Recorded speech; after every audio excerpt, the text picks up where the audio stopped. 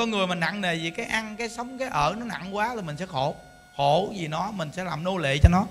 Nên chúng ta muốn sống mà có niềm vui là chúng ta đừng nên làm nô lệ cho vật chất. Chúng ta hãy sống làm sao cho nó có ý nghĩa trong cái cuộc đời của mình. Vì cái muốn có được sự an tâm và niềm vui là từ cái sự an tâm, phát đầu, đứng đầu nhất. Quý vị coi thờ thế nhiều kiếp nạn, dãy đầy con người đã quá bất an rồi. Ta làm bao nhiêu nghề nghiệp gì vật chất gì tiền bữa trước những đức à, chở mấy chú chùa đi lâu lâu mấy anh em mà. Ở đây mình lo cho chúng hết mà. Ai mà có khi người ta cũng không biết. Chở nguyên vàng mấy chú đi. Đi ra ngoài tiệm răng đồ này kia, cho ta vệ sinh răng cho mấy ổng. Khi mà ăn ăn chay tu hành mà, tự nhiên còn trẻ mà cười ra cái nhìn dơ giấy người ta cũng coi thường. Thấy à, tu mà dơ quá, hiểu không? Không có kỹ lưỡng. Nên từ đó mà dẫn ra tiệm răng à, vệ sinh răng đồ, cạo vôi răng mà đông quá thì đức chia ra ba, bốn chỗ làm răng để cho làm mau, đặng rước viền lượt mà như đức cũng ngồi đợi 4 tiếng rưỡi giỡn đâu. Từ 5 giờ chiều mà cho tới 9 giờ 45 mới về được chùa hộ pháp. Ngồi ngoài đường á. Thì như đức ngồi đợi như đức ngồi ngay chăn cái bùng binh, ngay bùng binh đó. Thì như đức ngồi lùm lùm lùm lùm, ngồi trong cái xe, tắt đèn, ngồi nó niệm phật. Thì thấy tự nhiên có hai em chạy xe tới. Chạy đến là mình biết rồi xưa mình trên thành phố mình biết thì ngồi ngay cái lùm để đợi mấy ổng ngay chăng cái bùng binh. Lỡ gõ gõ gõ gõ gõ gõ gõ, cửa xe. Mình bấm cửa xuống. Họ hỏi, anh, cần vui vẻ gì không? Thấy đội nón kết thấy đội nón kết bịt khẩu trang ấy vị ra ngoài là thường đội nón kết bịt khẩu trang bằng đêm lùm lùm tối tối thấy đội nón kết mà. Đi xe mà thấy xe cũng bự. Có gì vô xe luôn. Ờ, không? anh này càng vui vẻ gì không? Vậy đức nói ngồi đây cũng vui rồi. Đó. Ờ, Nó ngồi vậy ở đây sao vui được buồn lắm. Có mấy em mới vui nói à thôi hai em đi chơi chỗ khác đi anh đây vui được rồi. Hiểu không? Ông mình cũng vui tính á à, xong cái là nói chuyện qua lại chút xíu. Ừ, người ta cũng đủ ren lắm chứ không giỡn đâu nghe quý vị. Nghề nghiệp mà. Nói chuyện là đủ ren dữ lắm không phải giỡn đâu lạ lướt đủ ren lắm. Mình thì từng trải thành phố mình hiểu quá mình biết nhìn là biết rồi. Mình không cười ai đâu. Rồi xong nói chuyện qua lại một chút như đứa hỏi ồ sớm giờ có khách khứa gì không? Đó thấy chưa? À, sáng rồi ờ, sớm giờ có khách khứa gì không? Nó, thì hỏi là biết rồi văn rồi hỏi là mấy em nói ờ, rồi đây cũng chắc văn hiểu biết. Hỏi chiều chiều chiều chiều giờ có khách khứa gì không? À, xong nói ờ, lúc này làm ăn khó khăn thấy ế ẩm quá? Chưa làm ăn khó khăn thấy ế ẩm quá. Những đức nói à, bữa nay à, làm ăn ế, ế, ế ẩm mà mà gặp tôi tôi thấy ngồi à, không biết hên hay xui nghe. Cái nó nói à, gặp anh là biết hên rồi. Đó. Gặp anh là biết hên rồi nó đâu có biết thầy chùa đâu mà hên. Thầy biết tại thấy đội nón bịt khẩu trang thì nói chuyện kiểu đó thì ai nghĩ là thầy chùa đâu. À, thì mình ngày xưa ngoài đời mình cũng hiểu mình thấy tội nghiệp người ta quý vị. Nhìn các cô mình nhìn ta thấy tội nghiệp người ta ghê. Thấy các cô mình nó hạnh phúc ghê giờ đó có thể nó nghỉ ngơi. Hoặc là nó ngồi chơi chị em nhau trong chùa bình an. Còn người ta giờ này phải gông gũi đi kiếm tiền qua cái thân xác. Mình thấy tội nghiệp người ta ghê quý vị. Xong cái nói chuyện qua lệ một chút cái những đức ờ, cầm cái nón này như làm nè. Ừ. lột nón ra thấy đầu chọc lóc quý vị. Hai đứa nó cũng giật mình kinh ngạc quá. À, xong rồi nhà đức nói thôi không có gì đâu ngại. Nói chuyện qua lại nhà đức cũng khuyên phật pháp chút xíu. Cái thấy hai cái vòng đeo tay nhà đức lấy hai vòng nhà đức đeo cho hai đứa. Xong nhà đức đưa cho hai đứa đứa một trăm ngàn la mờ mỗi cô người, người ly cà phê. Rồi được rồi thôi đi đâu đi đi. Kết duyên thấy cũng tội nghiệp ghê quý vị thấy không? Chứ mình mà cười chê ai? Trong cuộc đời của người có ai mà muốn lấy bùn đắp chay vào mặt mình bao giờ đâu. Nhưng mà ta sanh ra đời với cái nhân duyên khác nhau mà. Hiểu không? Nó thì thấy chạy vòng do tam quắc. À, thấy lạng tới lạng lui mình thấy khổ ghê chưa? À, nếu như mà người ta tiếp nhận Phật pháp thì cuộc đời người ta có thể thay đổi đó chứ không giỡn đâu. Nhưng mà ta không đủ duyên tiếp nhận Phật pháp. Biết đâu người ta gặp mình một lần vậy có khi nó có cơ hội tiếp nhận Phật pháp làm sao? À, thấy không? Đó những đứa cũng chỉ đến chùa, rồi chỉ à, vô trang website của chùa mình để nghe pháp. Thấy cũng có ấn tượng, mà thấy ông thầy này vui quá.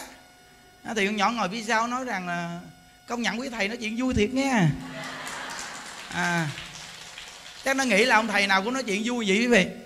Chứ gặp người khác người ta không nói gì đâu. Với một là người ta không biết thế nào nói gì đâu. Thấy không? Phát tay đi chỗ khác à.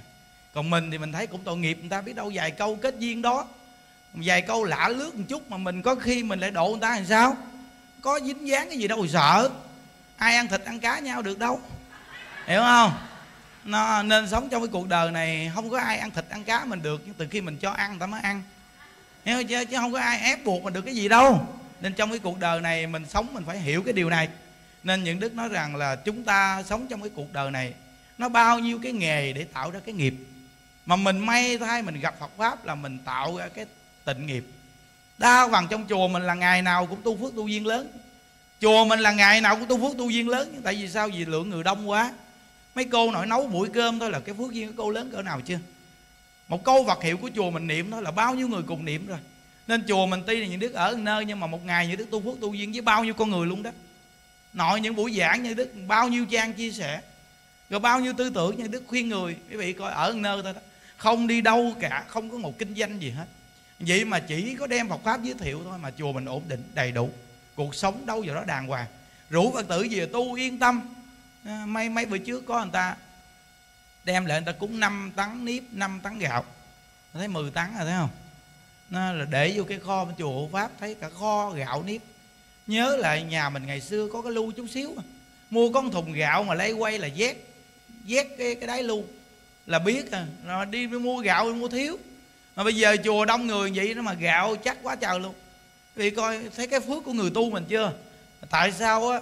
Mình gặp Phật pháp mà mình đi để cho nó thiếu thốn. Tại vì chính mình không biết áp dụng cái pháp của Phật. Những đức khuyên quý vị, nên áp dụng cái pháp của Phật đi. Trong kinh pháp hoa, Đức Phật nói rất rõ ràng, này các con, bước ra đây, ta cho của báo nè. Đừng nên làm kẻ cùng tử. Của báo ta đã tặng để vào tay rồi vì sao đi làm kẻ cùng tử? Đi vòng do tam quắc, đi tìm của báo.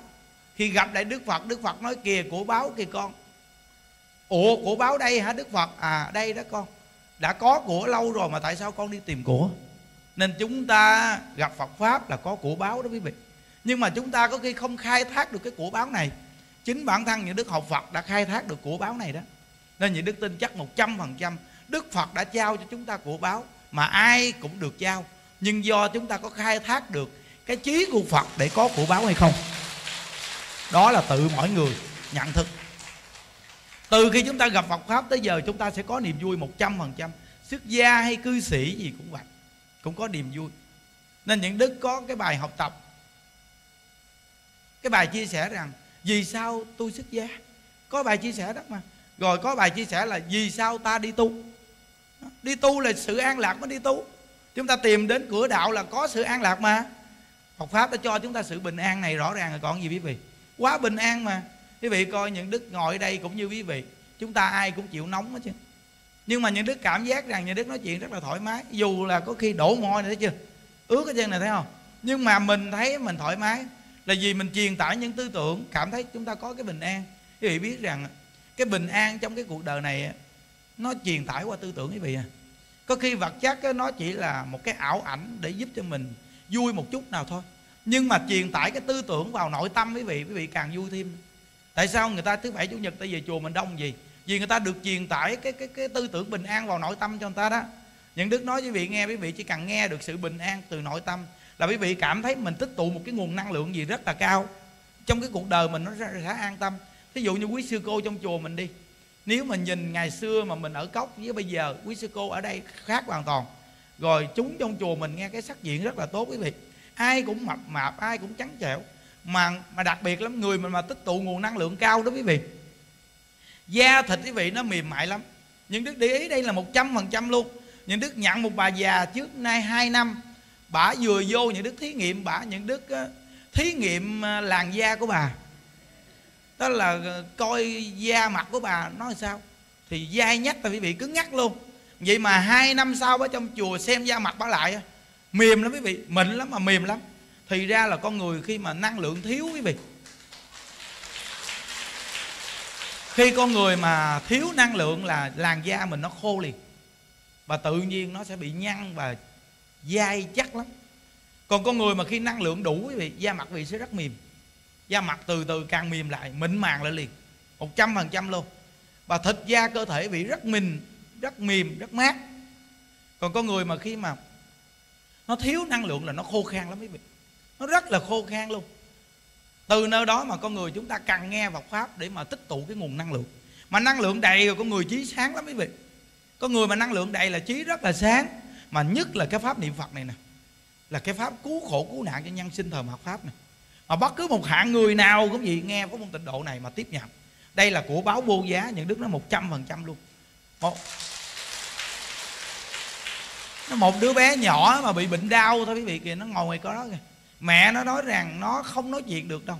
Vậy mà giờ nó niệm phật, nó nói chuyện lớn tiếng quá trời, niệm phật âm âm luôn. Mà nhìn nó rất là có duyên nghe quý vị. Nó những đức nói với mẹ tuy nó có duyên gì nhưng mà đừng có để cho nó hết duyên. Là con nít trong chùa mình tại vì được nhiều người thương nên từ nơi đó mà có khi nó lại thành lì. Người ta thương nhiều quá, nó thành lì, không phải giỡn đâu. Nó bây giờ lanh lắm, bây giờ là biết nói chuyện đồ ngon lành luôn. Mà một đứa con nít bị bệnh đau mà niệm phật mà chuyển hóa. Những đức nói rằng là mỗi một con người chúng ta gặp Phật pháp có thể chuyển hóa được. Dù bệnh đau gì quý vị cũng có thể chuyển hóa được chứ. Chỉ cần một quyết định học Phật, quyết định tin nhân quả, hướng thiện, cái tâm mình thiện tâm này nè, là nó quá giải cái ác của tâm mà quá giải cái ác của tâm thì nó giải, giải cái nghiệp. Mà giải cái nghiệp thì nó hết bệnh. À, nó một trăm phần trăm luôn. Nên chùa mình mà mỗi lần mà tổ chức một chương trình gì lễ hội quý vị biết rằng là nó đặc biệt lắm. Giúp bao nhiêu con người luôn. Bao nhiêu con người người ta đi đến chùa mình mà người ta được lợi ích qua những công đoạn nói chuyện đơn giản. Truyền tải những tư tưởng đơn giản mà người ta làm được. Nên từ nơi đó mà mình gặp được một ngôi chùa gì mình cơ hội mình tu phước duyên mình dẫn người ta đi tu mình mang một cái tâm chân thật nhiệt tình giới thiệu, dẫn ta đi tu. Nó như cái cô kia mà cô dám bỏ tiền, cô dẫn một ngàn người đi tu. Quý vị biết rằng, những đức nói rằng mình làm chưa được như cô thì mình cũng làm hết mình, dưới khả năng của mình. Còn như cô này, cô làm được, mà trong số lượng một ngàn người đó đưa tiền cho cổ phụ trợ của nó không khỏi được. Cái này là gọi là đi xe không đồng là không đồng thiệt, là hoàn toàn không hết. Tiền muốn cúng dường bỏ bao thư, cúng tam bảo đi còn ở đây là không đụng một cắt nào, hoàn toàn phi hết luôn. Thì quý vị biết rằng là cô đã làm là làm tới luôn vì cái cô này khác mình. Một là điều kiện của cô đầy đủ quá, hai là cô không có chồng, không con. Mà điều kiện cổ nhiều lắm. Của cải, cổ đất đai, cổ ở vũng tàu này nhiều dữ lắm luôn. Từ nơi đó mà điều kiện người ta mạnh quá, thì người ta làm được điều đó. Những đức nói rằng à, tất cả tiền bạc của cô mà đổ vào phật pháp, mà dẫn người đi tu hết đi. Cuộc đời của cô thấy ý nghĩa quá trời luôn mà cô thích hộ trì chùa này chùa kia lắm. Nó nhiều ngôi chùa, người ta biết là người ta nói người ta muốn tu giống chùa mình. Nhờ cô hộ trì, những đức nói cô một câu này nè. Nói qua vậy thôi, chưa đủ đâu. Muốn tu luôn á, mà cô hộ trì là kêu cái vị ở đó đó lên đây. Rồi những đức hướng dẫn cho, mà dê phải chân thật hướng dẫn ta tu thì cô cứ hộ trì. Còn nếu như mà họ không chịu tu vậy thì nói cho có thì làm gì bây giờ? Nên nói là phải làm thiệt mà cái pháp tu này mà chịu áp dụng ở đâu là thành công ở đó, quý vị. Mà người ta không tin. Người ta không tin, quý vị ơi. Ngộ gì cái tin là hiếm người tin lắm, mà người tin là thành công. Tính ra hai, ba thầy, một hay sư cô miền miền ngoài. Vô đây nghe, mà người ta đem về ngoài người ta áp dụng thiệt luôn. Mà người ta nói, trời công nhận hay thiệt. Áp dụng phương pháp tu hướng dẫn đơn giản, nhưng mà phật tử về ào ào. Chùa thỉnh lên liền. Là ta làm thiệt, thỉnh liền, quý vị à, thì vị coi như chùa mình đây nãy vị coi những đức gặp Phật pháp đó giờ niệm Phật không nó từ hộ pháp qua đại tùng lâm tùng lâm qua đây rồi phát triển bao nhiêu đậu tràng bao nhiêu con người khắp nơi nơi. Quý vị cái thấy thành công mà thịnh vượng mà sống nơi không cần đi đâu hết chứ mà còn dạy được Phật tử nhiều người ở nhà tu được. Những đức nói với quý vị nghe tại gia đình mình nên có ngôi tam bảo và có phương pháp tu có điều hộ niệm có sẵn hết chứ. Quý vị cứ làm đi. Những đức khuyên quý vị là chăng thật ở nhà mà hai thời tu đó đừng có bỏ cuộc. Rồi mỗi ngày giảng pháp hai thời tới đừng có bỏ cứ bấm vô đăng ký cái trang chân thành niệm phật vô lượng thọ thì quý vị cứ đăng ký đi. Những đức nói với vị, có một ngày nào mình sẽ áp dụng được? Tại gia mình mà không đi đến chùa được đó. Tại vì sao? Có khi phát dịch làm sao? Quý vị cũng không đi đến đâu được. Hoặc là bây giờ dịch thì dịch nhưng mà đi đi à. Bây giờ người ta cũng không có cấm cản cái chuyện này nhiều.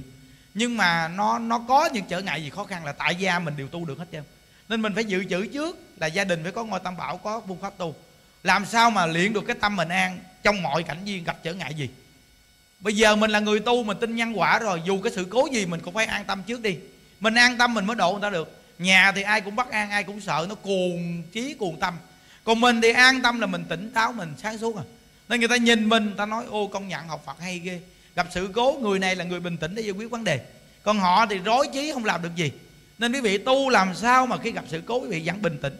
Bình tĩnh, đừng có háo hức, đừng có lo sợ, đừng có bất an thì người ta nhìn mình mình mới dễ độ còn bây giờ mình là tu mà gặp sự cố gì, nghe tin tức gì, cha, mẹ, ông bà, ai mắc, ai bệnh cái là hú hồn. Vậy thì mình là người tu gì dở quá. Mình là người tu mà định lực vô thường đến bất tử, giàu, nghèo, đẹp, xấu. Lùng lé, hôi xuống, trẻ già, ai muốn đến lúc chết là chết à. Chúng ta phải tin điều này, thọ mạng đến lúc chết là phải chết. Nên chúng ta đừng có đặt vấn đề nặng nề, nghe tin bình tĩnh.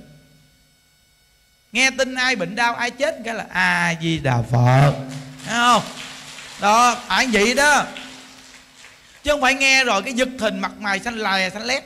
Không phải. Nghe mà cái mặt xanh lè xanh lét giật thịt chứ thì thua rồi. Mình tu mà cũng như người đời vậy sao độ người ta?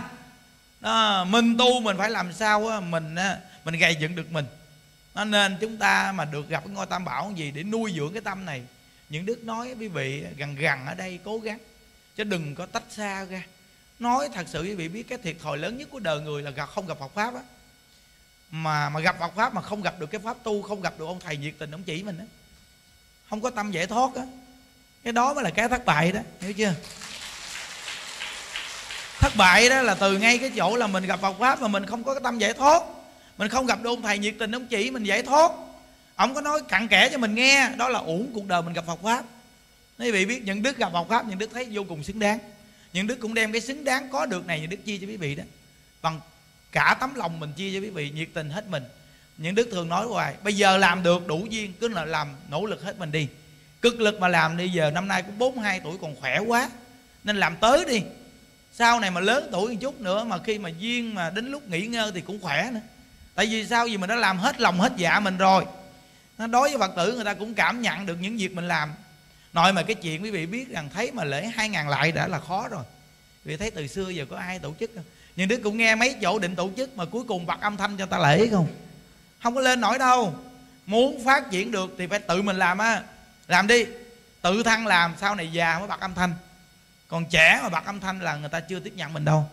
Nó phải tự mình làm. Cái gì cũng vậy quý vị. Phải bỏ công. Thì nó mới có trọng lượng của nó còn cái gì mà mình không bỏ công mà muốn có cái cái cái quả thì khó lắm. Ta nói là, đã nói là công quả, thì phải bỏ công nó mới có quả. Phải chịu khó, chịu cực. Những đức cũng phải chịu khó, chịu cực. Quý vị coi á, cái bữa 500 lại mà cái bữa bên đây quý vị thấy đơn giản không? Không chịu khó, chịu cực, sao làm? Đúng không? Đó. Phải chịu khó, chịu cực. Nên tất cả quý thầy, quý sư cô, quý phật tử khắp nơi nơi muốn tu mà chùa chiền phát triển, phật tử đến đông mình phải chịu khó chịu cực vì người ta. Mình vì người ta đi người ta mới vì mình. Mà mình lúc nào mình gặp người ta cũng tiền tiền ai mà tiền cho mình? Người ta làm cực thấy mồ luôn mà tự nhiên đưa tiền tùy tiền không có đâu. Ví dụ như nhiều phật tử khắp nơi nơi người ta cúng dường những đức cô sòn đồ mà cổ một phát tâm dẫn người đi tu vậy toàn là người ta cảm nhận từ mình. Ta nhìn nhận từ mình mà ta quý thích. Nó, quý vị biết rằng là có những cái làm mà những đức thấy những đức tin dữ lắm. Như những đức nói mà hôm qua mà mà mà mà cái quỷ chùa mình bên kia mà mà cô bạch có nói thầy thầy còn có 4 triệu à thầy ơi. Những đức nói chiều có người cúng. Nói một câu vậy, từ buổi sáng mà tự nhiên vừa nghe vậy bình tĩnh lắm nó chiều có người cúng lo cái gì? Nó, xong á cái cô kia cô đế của nói trời ơi bởi vì nguyên buổi sáng tự nhiên người con nóng thấy ghê luôn không biết sao kỳ cục. Cái tự nhiên cái ờ, nghĩ thôi bây giờ cầm tiền đến chùa đi cúng chiều bà cầm đến đưa một cọc tiền. Nó nói cái đó chiều có người cúng đấy chứ. Thấy không? Đó thấy chưa? Nói vào một cái rất là bất chợt. Vừa cô mà cầm tiền của nó thầy cái quỷ còn có 4 triệu à. Nhà đức nó chiều có người cúng. Vừa nói vậy là nói chiều có người cúng. Thôi được rồi. Đúng rồi chiều không ai cúng thì mình cúng. À, nó mình nói vậy đó mà mình gì người ta chiều có người đem đến cúng. Giỡn đâu phải không? Nên trong Phật pháp, những đức đã gặp nhiều trường hợp quá rồi. Những đức đã cảm thấy nó nó bình thường quá rồi. Ngày xưa cái thời mà những đức không có một cái gì, những đức còn còn còn sống bình thường được mà chừng nói chi tới bây giờ. Nó thật sự mà nói mình gì thiên hạ thiên hạ gì mình, không có chết đâu mà sợ. Nó không có lo. Cái nhiệt tình gì người ta đi. Nó, nên từ nơi đó mà mỗi một việc mình làm, chúng ta thấy rằng cái đó là tốt mình nêu lên, tại vì những đức ở trong chùa, những đức làm việc tốt không mà. Làm việc cho người ta không mà, nên đông người. Nên những đức làm là những đức nêu lên. Ai có điều kiện người ta làm. Mình dù mình nghe cái nói là cầu nguyện cho cho người ta hỗ trợ thầy để làm được điều đó. Cái tâm đó thôi nó cũng đã có phước rồi. Quý vị chưa cúng mà vị nghe, ông thầy ông muốn làm việc đó cho người ta. Mà mình nói là có có cái tâm mình nghĩ cầu nguyện cho thầy, người ta cúng phụ thầy để cho thầy làm việc đó. Cái tâm thiện nó đã có phước rồi nên mình nghe cái thiện là mình đã có phước rồi. Mình nghe cái ác là mình đã có tội rồi. Thí dụ như bây giờ, ngày xưa mình giảng pháp, mình còn nói đầu này, đầu kia, đầu nọ. Mình bực bội cái này, bực bội cái kia mình nghe cũng thấy nặng nề nữa. Bây giờ vì thấy những đức càng tu, những đức càng chia sẻ Phật pháp vì thấy không? Nó có nói gì nữa chứ nha nói tu hành à nói bình thường à. Thấy không? Nó từ từ, thời gian nó nó cởi mở ra. Ngày xưa mình còn nhìn cái này, cái kia, mình nghĩ mình tu được, tu giỏi, mình làm được. Mình làm dữ quá, còn người ta, mình nhìn thấy người ta gì vậy, mình mình nói có khi mình có tâm thiện, nhưng mình nói cảm thấy nó sốc ốc người ta chứ không giỡn đâu nghe quý vị. Bây giờ mình nghĩ lại, nó có sốc ốc người ta, nhưng bây giờ mình càng tu mình thấy mình nói nó nhẹ nhàng, mình nói bình thường cái chuyện của mình thôi à. Mình nếu mà mình cứ như vậy, ai mà muốn bực bội mình làm cái gì?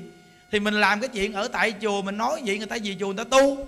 Chứ ông thầy này ông có đi đâu đâu ông có dặn dắt ông có kêu ghéo ông có đi phát từ rơ gì đâu mà mình đi trách ổng. Cái chi mà ông đi đến chùa mình, ông lo lượng phật tử mình đi về thì mình nói ổng ông ở chùa của thầy ổng không? Không hướng dẫn người ta. Tự người ta đi đến đây. Còn mình không không rủ người ta đi đến chùa mình được thì thôi. Chuyện của mình chứ. Hiểu không? Đó. Rất là rõ ràng luôn. À, bây giờ chùa chiền chúng ta cũng sống trong cái thời đại cạnh tranh. Thì chùa cũng cạnh tranh mà cạnh tranh sao cho nó công bằng? À còn cạnh tranh công bằng là sao? Là mỗi một ở địa điểm của mình mình tự phát triển cách nào cũng được, miễn thiện là được rồi. Miễn tốt là được rồi, vì người là được rồi. Ông làm cách nào, miễn làm sao, ông thiện tâm. Ông giúp được một số chúng sanh thì ông cứ làm đi. Tốt. Nhưng chúng sanh nào người ta hướng đến đâu thì người ta hướng chuyện của người ta. Người ta muốn đi đâu là cái chân của người ta, chứ không phải cái chân của mình mà mình buộc. Thấy không? Mình học phật là không có buộc chân ai hết á. Người ta có quyền, cái chân người ta đi đâu là kệ người ta. Người ta muốn đi đông, đi tây, đi nam, đi bắc, đi về hộ pháp cũng được. đúng không đi qua tùng lâm đó là chuyện của người ta. À, người ta nghe, người ta thích, người ta đi đến à. Nên quý vị học phật làm sao mà học ra cái tự tại học, đừng có bị buộc ràng. Quý vị không đi thích đi đến đây, những đứa con có ép quý vị. Ép quý vị làm chi? Quý vị không thích đi đến đâu thì cũng không ai ép được quý vị. Chúng ta chỉ có cái vai trò là duyên gặp nhau. Thí dụ những đức làm thầy quý vị, thí dụ đi, những đức quy y cho quý vị. Đó là duyên, những đức là là người xuất gia, chứng minh khi mà gọi là trong tăng đoàn có một người xuất gia chứng minh quy y cho người đó đối với Phật pháp tăng. Trong Phật pháp nó có hình tướng tăng nằm trong ba ngôi báo. Tăng trong ba ngôi báo là tam bảo, hiểu chưa? Nên cái phước của tăng rất là lớn. Tăng như thế nào đó là chuyện của tăng, nhưng hình tướng tăng là nằm trong ba ngôi báo. Nên tăng bảo là một cái phước duyên rất là lớn. Chúng ta là hàng phật tử, gặp tăng thì cứ kính trọng, gặp người là cứ kính trọng ấn tổ ngài nói một phần thành kính được một phần lợi ích mười phần thành kính được mười phần lợi ích. Chúng ta nhìn tăng chúng ta cũng không biết tăng nào là tăng nào đâu. Có những tăng mình nhìn thấy bê, bê bối nhưng mà lại là bồ tát thì hiện rồi sao? Nó mình không có biết được tăng nào sao chứ vì mình là cặp mắt của phàm phu. Thì thôi chúng ta cứ gặp tăng là mình cứ tăng tăng là được rồi. Hiểu chưa? Nó nó bị điện sống của tăng á tại vì còn căn bảo phật á, thì bây giờ tượng phật chúng ta tưởng nhớ đến phật để học theo cái giác ngộ của phật. Bây giờ pháp bảo pháp bảo là kinh giáo chúng ta dựa vào kinh giáo để mà mình dạy người để sống trong cái cuộc đời có phật pháp có sự bình an khi hướng đến đạo pháp. Tăng bảo tăng bảo thì chúng ta đã thấy tăng rõ ràng những đức cũng là tăng bảo hình tướng cư sĩ cũng là tăng bảo chỉ cần học phật là tăng bảo. Thì hình tướng tăng bảo là đầu chọc ờ, áo ờ, ờ, y áo đắp vô thì mình nhìn thấy tăng bảo thì mình gặp tăng bảo mình thấy mình mừng. Trong lòng mình cảm thấy vui sướng khi nhìn được hình tướng tăng bảo. Còn tăng gì thì kệ còn mình chỉ cần gặp mà mình tăng tăng. À, tăng tăng là gì? Tăng tăng là mình cảm thấy mình vui sướng khi mình gặp tăng bảo. Hiểu không? Rồi mình à, thấy nếu mình muốn cúng dường thì mình rút tiền ra nhanh lẹ gọi là tăng tăng. Hiểu chưa? Đó cái tâm mình vậy đó thì mình hạnh phúc lắm quý vị. Nhớ cúng dường cho tăng bảo, dù tăng gì, nhưng mà mình vẫn có phước. Đó là hình tướng của phật. Dù bất cứ một người tăng nào như thế nào, nhưng họ cũng là có duyên trong phật pháp. Họ mới có thể đầu tròn áo du chứ không có phải mà không có duyên mà được vậy đâu, quý vị à. Nhưng duyên thì họ gầy, cái duyên nào là tùy họ. Nếu như cái duyên hướng đạo giải thoát thì họ giải thoát. Còn cái duyên mà họ hướng về trần thì cũng là duyên tăng bảo. Nhưng hướng về trần bảo, từ nơi đó mà mỗi một con người chúng ta phải nhận thức được, mình đừng có đụng chạm ai mình đừng có đừng có đụng chạm vô cái cái nghiệp duyên của ai, hiểu chưa? Vậy thì mình đi học phật tuyệt vời quá. À, luôn luôn mình thấy mình là người an lạc, mình vui. Mình học phật pháp, mình thấy mình vui, mình an lạc quá trời luôn. Vì thấy những đức lên ngồi nói chuyện, cái nói như sáo nói hoài không ngưng được luôn. Thấy không? Có ngưng không? À, bây giờ quý vị viết một cái viễn văn mà quý vị đọc cho nó lào lào thì mới lên đọc đường gì. Chưa chắc đọc đường gì nữa. Nhưng mà những đức lên nói hoài bị nghe thấy chưa? Hết câu chuyện này tới câu chuyện nọ hết câu chuyện nọ tới câu chuyện kia. Quý vị thấy những đức nhiều chuyện chưa? À. những đức nói là cái bà bán cá ngoài chợ mà nói không bằng những đức à bà bà gì cao lắm được nửa tiếng hồ là bà khô hơi cạn tiếng mệt thấy mồ. Tại bà săn si bà chữ um sùm. À, người ta lại mua cá đây mà ta không mua qua bên kia mua bà chữ dùng cái thứ gì đâu qua đây rồi mà không mua tao, qua bên kia mua, tao đốt phong long cho mày chết cả đám. Nên bà chữ um sùm nửa tiếng sau là bà ngồi bà thở. Còn những đức nói chuyện một tiếng rưỡi đồng hồ mà xong những đức vui vẻ vô cùng. Vì những đức đem cái cái truyền tải những cái tư tưởng tốt cho quý vị. Nên những đức có mát mẻ. Hiểu không? Bây giờ quý vị ngồi đây, hồi nãy ngồi mà bây giờ ngồi quý vị thấy thời tiết nó dịu chưa? Dịu là ngay cái tâm bị dịu á. À tướng do tâm sanh mà quý vị đừng có nghĩ hoàn cảnh nó nóng là nó sẽ mát liền à. Nó từ từ nó mát. Nó rõ ràng, hồi nãy như đức sức mồ hôi quá trời luôn, nhưng mà bây giờ nó sức mồ hôi mà nó mát lạnh à. Mát ghê cơ thể, mát lắm quý vị. Càng sức mồ hôi càng thích, nó mát lạnh à. Không có nóng chút nào chứ nha. Thì nó cảm giác vui thích mới nói chuyện gì nè. Nó nói là vui thiết pháp chứ không ai nói buồn thiết pháp chứ. Buồn mà thiết pháp là giống như vị đem cái sự khổ đau cho người ta. Còn vui mà thiết pháp thì đó là sự an vui truyền tải. Nên quý vị ngồi dưới hứng đi à, ngồi hứng liền. Nó hứng bằng cách nào? Phải không? Hứng bằng cách nào? Nó, nó hứng rồi đó chứ gì? Nó, nó mình nói thì thật sự mà nói quý phật tử mà người ta ngồi phía trước có một cô này có nói một câu này nè thầy ơi đi tu á xe cộ sắp xếp cực khổ đủ chuyện phải lo.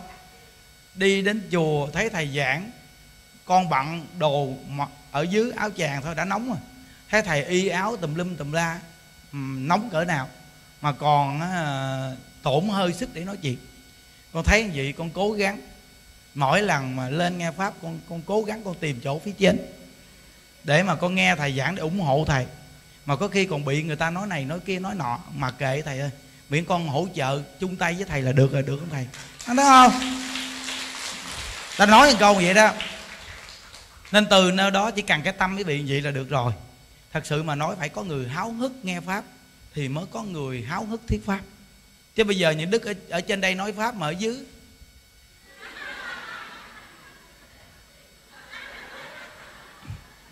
Dòng do mấy câu nói hoài. Lễ phật nghỉ đi ăn cơm phức rồi nói hoài. Rồi trời.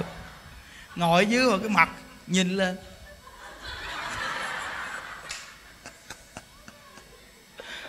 Bực bội quá có nhiều bữa cầm theo cái, cái dao, dao răm ngồi dưới những đức thuyết pháp ở dưới ngồi làm. Hiểu không? Kiểu đó thôi chịu thua luôn quý vị. Hâm hâm dọ phải không? Hâm dọ cầm cái dao làm gì nè? Nói cắt cổ bây giờ kỹ nói nghe. Thấy không? Kiểu đó sao nói? Ví dụ người ta ngồi dưới người ta vui người ta hưng khởi mình mới thích nói. Thấy không? Cái đó gọi là duyên thiết pháp còn bây giờ mình mới có duyên mình nói mà người ta đứng đi chân ai nói được. Nó có một lần mà cái ông thầy ông thuyết pháp mình ta văn mùng nó ngủ. Thế rõ ràng là một trăm phần trăm niệm đức thấy luôn nè. Tại vì cái ngày lễ viếng quan âm mà cái ông thầy đó ông thuyết pháp mà người ta văn mùng lên quá trời phía sau người ta văn mùng nó ngủ quý vị. Trời ơi thiết cái kiểu đó sao thiết nổi trời. Bây giờ như đức nói, bây giờ như đức mà nói chuyện ở đây vì dựa nhau vì ngủ tá lạ mình có nhiều bà ngủ mà chảy nước miếng luôn, sao dạng giảng nổi mới sợ đúng không? À, đừng có nói chuyện dẫn chơi có một lần đó nghe những đức ngồi chia sẻ bào pháp mà cho chắc cái bà này chắc cũng là là, là phật bồ tát gì phái đến thử mình sao? Bà này thì mình nói nghe cho nó nó vui nghe quý vị. Thì phụ nữ thì mỗi người nó có cái dáng người khác nhau. Mà cái dáng bà này cũng xi nhon lắm nghe. Mà bà chơi ngay cái mặt tiền luôn. Bà ngồi ngay trước mặt mình luôn. Mà bà không bận áo chàng áo gì chứ bà bận áo dây chơi ghê không? Mà bao nhiêu bà là là là tạo nghiệp gì bà này luôn. Bao nhiêu bà phật tử là tức bà này, bực bội. Mà không dám đụng bà. Nhìn bà bự con cao réo mà nhìn bà sắc lắm. Thì bà ngồi. Bà ngồi bà nghe giảng, bà cũng cười, bà cũng vui lắm. Nhưng bà ngồi một chút là bà dạch cái áo làm nè. Những đức cứ thuyết pháp một chút là bà cứ dạch cái áo ra bà làm nè. Bà dạch cái áo bà làm gì bà làm nè. Ý bà là bà thổi gió vô quý vị cho nó mát bà chơi vậy đó. Mà cái áo bà mỏng dánh là áo dê. Mà bà dở, bà vụ vụ cho nó mát á. Bà vụ vụ vụ vụ một chút á mà cái bà bà ngộ cái ghê. Mà ngay mặt tiền không nhìn cũng không được. Một chút cái đầu bắt khòm xuống bà làm nè. Chơi vậy đó trời mà bao nhiêu bà tạo nghiệp gì bảo mấy bà kia bà tức dữ lắm luôn. Nhưng mà không dám đụng bà này. Tại ngay cái buổi giảng ngay cái buổi mà trên chánh điện sau này đức nói mấy chú là gặp những trường hợp vậy mình dẫn người ta qua chỗ khác. Chứ người ta ngồi thấy nó kỳ quá. Mà bà chơi gì bà làm hoài kỳ cục thế ghê. Một tiếng rưỡi bà làm đâu mười mấy hai chục lần. Mình, mình trong bụng mình nói chờ là chờ bảo bà. Có gì đâu lạ đâu bầu khe hoài vậy chờ bà cứ dạch ra rồi bà khơm xuống bà dạch ra bà gom xuống rồi bà thổi gió vô bà làm đủ cách chân á mà ở trên mình thiết tá lả ông binh chứ. Ở dưới bà cũng làm tá lả ông binh luôn. À làm mà mấy bà này, mấy cô ngồi kế bên bực bội lắm. Tức dữ lắm mà không nói được bà này. Ôi trời bà này bất kỳ cục thế kia mình nói à chắc là phái bà này đến chuyện gì nè. Chứ không phải chuyện giỡn nó gặp trường hợp kỳ cục lắm quý vị. Nó trường hợp kỳ cục lắm. Mà có một lần á, cái bà này bà bà vô bà nghe pháp mà bà bà bằng cái quần mà ở dưới nó không có đáy. Thì bạn riếp rồi đâu có đáy đâu. Ờ à, bà ngồi chút á, là bà mỏi chân quá. Cái bà chùm hởm hai cái chân mới lên. Mà nói cho bụng chậu là chậu nay sao mà gặp trường hợp này nữa chợ. Kinh khủng luôn. Có chưa quý vị. Ngồi thiết quá mà gặp tá lả bên diệt cái hết trơn không có giỡn đâu. Nó ờ à, bà chơi vậy đó quý vị hỏi có tội không? Không có tội gì chứ. Mình trong đời kiếp nào mình cũng chơi vậy với ông thầy. Bây giờ đến đời kiếp này bả chơi ngược lại. Quý vị coi thiết pháp mà bả bả cứ chầm hổm lên. Bà có đưa hai cái chân mới lên cái kiểu mà mỗi chân đau chân bà ngồi mà kiểu mà mùa nước lũ á. Mà nó chống lỏng chống liệu ở trong mà nó xanh đỏ vàng gì nó ra hết trơn mà ngay cái mặt mình mà kêu mình không nhìn sao được. Không lẽ giờ bị thiết pháp bị nhắm mắt? Nó, thầy này ngủ mất công, nó thôi, kệ, bà làm bà làm. Thiết cô thiết à. Nó chút cái bà khép lại. Chút cái bà mở ra. Bà làm hoài vậy đó. Bị coi kinh khủng không? Nó, cái đó là cái nghiệp duyên, quý vị. Khảo đảo nhau không giỡn đâu nghe. Nhưng mà mình thấy bình thản lắm. Tại vì sao? Mình cũng thản nhiên mà bả bình thản thì mình thản nhiên thôi. Chứ có gì đâu hiểu không? Nó bả kích thì mình động. Chứ làm sao? Mình động là mình nó thiết chứ mình mà không động là mình im luôn á chứ không có giỡn đâu nghe. Kệ bà bà muốn làm thì bà làm đi. Chuyện này nó bình thường quá da thịt thôi chứ có gì đâu. Hiểu không? Có gì đâu lạ. Nhưng mà gặp mà mà mà mà, một ông thầy đi tu từ nhỏ là chưa chắc đó nghe.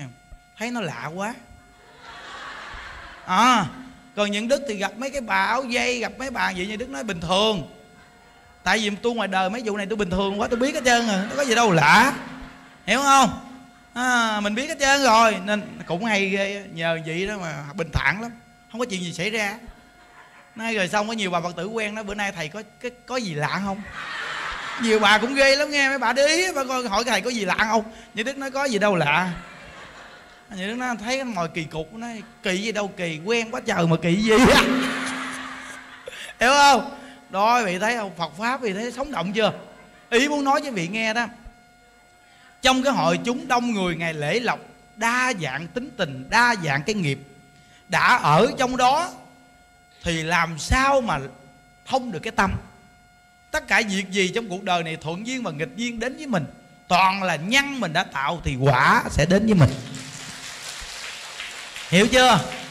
Vậy thì thông cái tâm liền cái gì đâu? À, phật pháp đó gọi là phật pháp sống động. Phật pháp đó gọi là đại pháp như lai. Cái đại pháp của như lai là khi thành tựu cái giáo pháp là đi vào nhân sinh. Chứ cái đại pháp của như lai không phải là khi thông Phật pháp rồi mà ngồi chỗ nào đó mà im điềm nữa. Không phải. Mà phải đi vào nhân sinh thì nó mới là đại pháp của như lai. Thì phải nhớ. Nên từ nơi đó mà mỗi một người tu đạo của chúng ta đừng có nhìn hình tướng nào mà bực mình chi. Nhất là ngày lễ là nhiều lắm, đủ thứ loại hết á. Đủ chuyện hết chứ, không có giỡn đâu. Nó, trời ơi, có nhiều cô mà người ta, phật tử người ta quý, người ta sao quý vị mà người ta chưa nghe đạo nhiều, người ta không hiểu á. Có khi mà người ta lợi chụp hình những đức mà người ta đưa nguyên cái ngực vô mình những đức. Không có giỡn đâu, người ta đưa vô mà người ta còn cả cả vô người mình. Cái này là nó thật lòng đó quý vị. Người ta quý, thích làm sao kỳ cục ghê á mà ngày xưa mình chưa đi tu mà mình mong được vậy mà không có. Ngày xưa muốn mà có đâu. Nó thiệt luôn á. Ngày xưa giờ kêu chụp hình ta cũng không chụp mà giờ người ta xin chụp. Mà người ta làm vậy đó, mình thấy gì mình lấy tay mình cũng cho chỏ vài cái luôn. Bà kích thì tôi động chứ, sao kệ mồ. Hiểu không? Lâu lâu cũng có của cải chút xíu gậu thầy này ghê quá. Hiểu không? Nó nên ông thầy vậy đó mà ông không rớt đó quý vị. Hiểu không? Còn gặp mà. Mô phật. Mô phật. À, có chừng ba hù dọa tới luôn á. Thấy không? Làm tới luôn á. Thấy không? Nó có khi mà ma cảnh trong cái cuộc đời nữa khi nó đến khảo đảo mà mình còn dữ hơn ma thì ma nó chạy. Ma nó chạy luôn. Thôi thôi tao sợ mày luôn đúng không? Nên từ nơi đó mà trong cái cõi đời này tu không đơn giản đâu quý vị. Nó bao nhiêu cái nó không đơn giản. Nên cái người mà mình không thông tình đạt lý, khó tu lắm. Cực kỳ khó tu luôn, đừng nói chuyện dẫn chơi đó, ngày xưa thì như con mắm vậy đó, không ai mà để ý tới đâu. Nhưng mà khi mà người ta quý thương rồi là sao thế cũng thế cũng được chứ. Thấy người ta dễ với mình liền chứ không giỡn đâu. Nên từ nơi đó mà mỗi một con người mình nghe đạo khi có phước duyên là có khảo đạo. không sống trong cuộc đời này có phước thì phải xài chút phước. Không xài cũng không được nữa quý vị à. Hiểu không? Có tiền mà không xài thì nó đi đường khác. Nên quý vị những đức khuyên quý vị có tiền của nên xài ngay cái tam bảo là hay nhất. À, không xài cũng không được. Những đức nói với vị nghe có nhiều người người ta có tiền người ta tích chữ không mà lại gặp con phá gia chi tử vô nhà. Nếu như vị biết dùng tiền đó thì làm gì có con phá gia chi tử vô nhà? Không có đâu nó quá giải liền nó, nên từ nơi đó mà mình phải biết dùng ngay ngôi tam bảo. Mà ngôi tam bảo mà phục vụ chúng sanh làm việc ý nghĩa sai là nó xứng đáng lắm những đức nó thiệt. Như đời những đức với hòa thượng là, là làm tới luôn rồi đó. Như hòa thượng này nói tôi giờ tám mấy tuổi rồi như ngọn đèn treo trước gió bây giờ tôi làm tới bờ tới bến luôn. Ông chỉ cần đưa tiền là tôi làm liền không nói dòng voi thấy không? Còn mình thì mình nói là mình kiếm tiền để đưa cho hòa thượng. Hai bên nó kết hợp vậy thấy chưa? Nó thật sự mà nói á bây giờ tu đạo bây giờ có phát á, đại tâm đại nguyện đại trí đại lực. Nhưng mà nó mà không có tiền bạc thì cũng không làm được. Nó không có đại tài thì không làm được đó vị. Tài là tiền. Không có tiền là không làm được trong cái cuộc đời này. Đức phật còn tại thế là giống như trưởng giả cư sĩ người ta hộ trì với đức phật là người ta xây tịnh xá ta làm hết trơn. Tất cả những cái gì đức phật muốn đi thuyết pháp là người ta lo hết trơn. Thì đó, đó thì không cần cầm tiền nhưng mà mình bây giờ thì mình phải dùng tiền để mà lo cho tam bảo. Thì phải có tiền. Nó, bây giờ nói không không được đâu quý vị. Nói không mà không cho người ta ăn cũng người ta không tin. Nó, giống như bây giờ sắp sửa lễ viếng quan âm là những đức chuẩn bị đặt hai chục ngàn cái máy niệm phật. Mà những đức mới ờ, sắp xếp lại những cái điều niệm phật. Vì những đức thấy 18 điều niệm phật á, không có dùng được mấy điều tại vì người ta cứ bắt cái điệu hộ niệm mình dạy người ta hoài mà ta cứ niệm điệu hộ niệm không bỏ mười mấy điệu kia không, ít dùng quá. Nên những đức gọt hết những điệu hộ niệm kia, lấy vài điệu thôi. Rồi những đức bỏ mấy công đoạn quan trọng vô, có những công đoạn khai thị cho người lâm chung. Bỏ vô đó. Cái làm ra cái máy cái này là mới luôn đó quý vị. Máy lạ luôn á. À. nó hôm qua điện qua bên nước ngoài đặt hai chục ngàn cái à. nó để mà lễ díu quan âm 19 tháng 6 tặng á. Đặt hai chục ngàn, kỳ này là chuẩn bị hai chục ngàn cái đó. Kỳ này díu âm đông lắm nè đông lắm á. Tại vì sao? Tại vì nghỉ hè. Nhưng mình có nói đông lắm đi mà không biết ngày đó là ngày gì mình cũng không biết. Thấy không? Ai mà biết được cái, ở cái cõi này nó vô thường lắm mấy vị ơi. Nó, nên nó nó nó có nhiều cái vô thường lắm. Nên cái gì mà chúng ta nghĩ thiện, nghĩ tốt, mình cứ cố gắng nỗ lực mà mình nghĩ đi. Cái càng nghĩ cái thiện là có phước rồi, tại sao nghĩ thiện? Mà nghĩ phước lớn nhất là nghĩ đại thiện ai với đạo phật. Cứ đi đứng nằm ngồi siêng năng niệm phật. Cứ siêng năng niệm phật con người cứ thương con người đi, mình cứ tâm thương con người đi, thì mình không có buồn giận ai lâu đâu. Tại mình thương con người, mình thấy thương con người như mình là con người, mong người ta thương mình. Đã mình mong người ta thương mình thì mình thương người ta đi. Mình chỉ cần có tâm thương người ta thì người ta thương mình. Phải nhớ, nếu như mình không thương người ta mà mong người ta thương mình khó lắm. Nó nên nhiệt tình có tâm thương con người. Ví dụ như con cháu mình mình thương quá trời luôn, tại sao mình không thương con cháu người ta? Mình không thương con cháu người ta, làm sao con cháu mình được người ta thương? Hiểu không? Con cháu mình một ngày nào cũng đi làm cho người ta. Thì bây giờ mình thương con cháu người ta làm cho mình đi. Con cháu người ta làm công cho mình mình nên thương con cháu người ta. Thì con cháu mình đi làm công được, người ta thương là chắc chắn. Nhân quả tương đồng mà.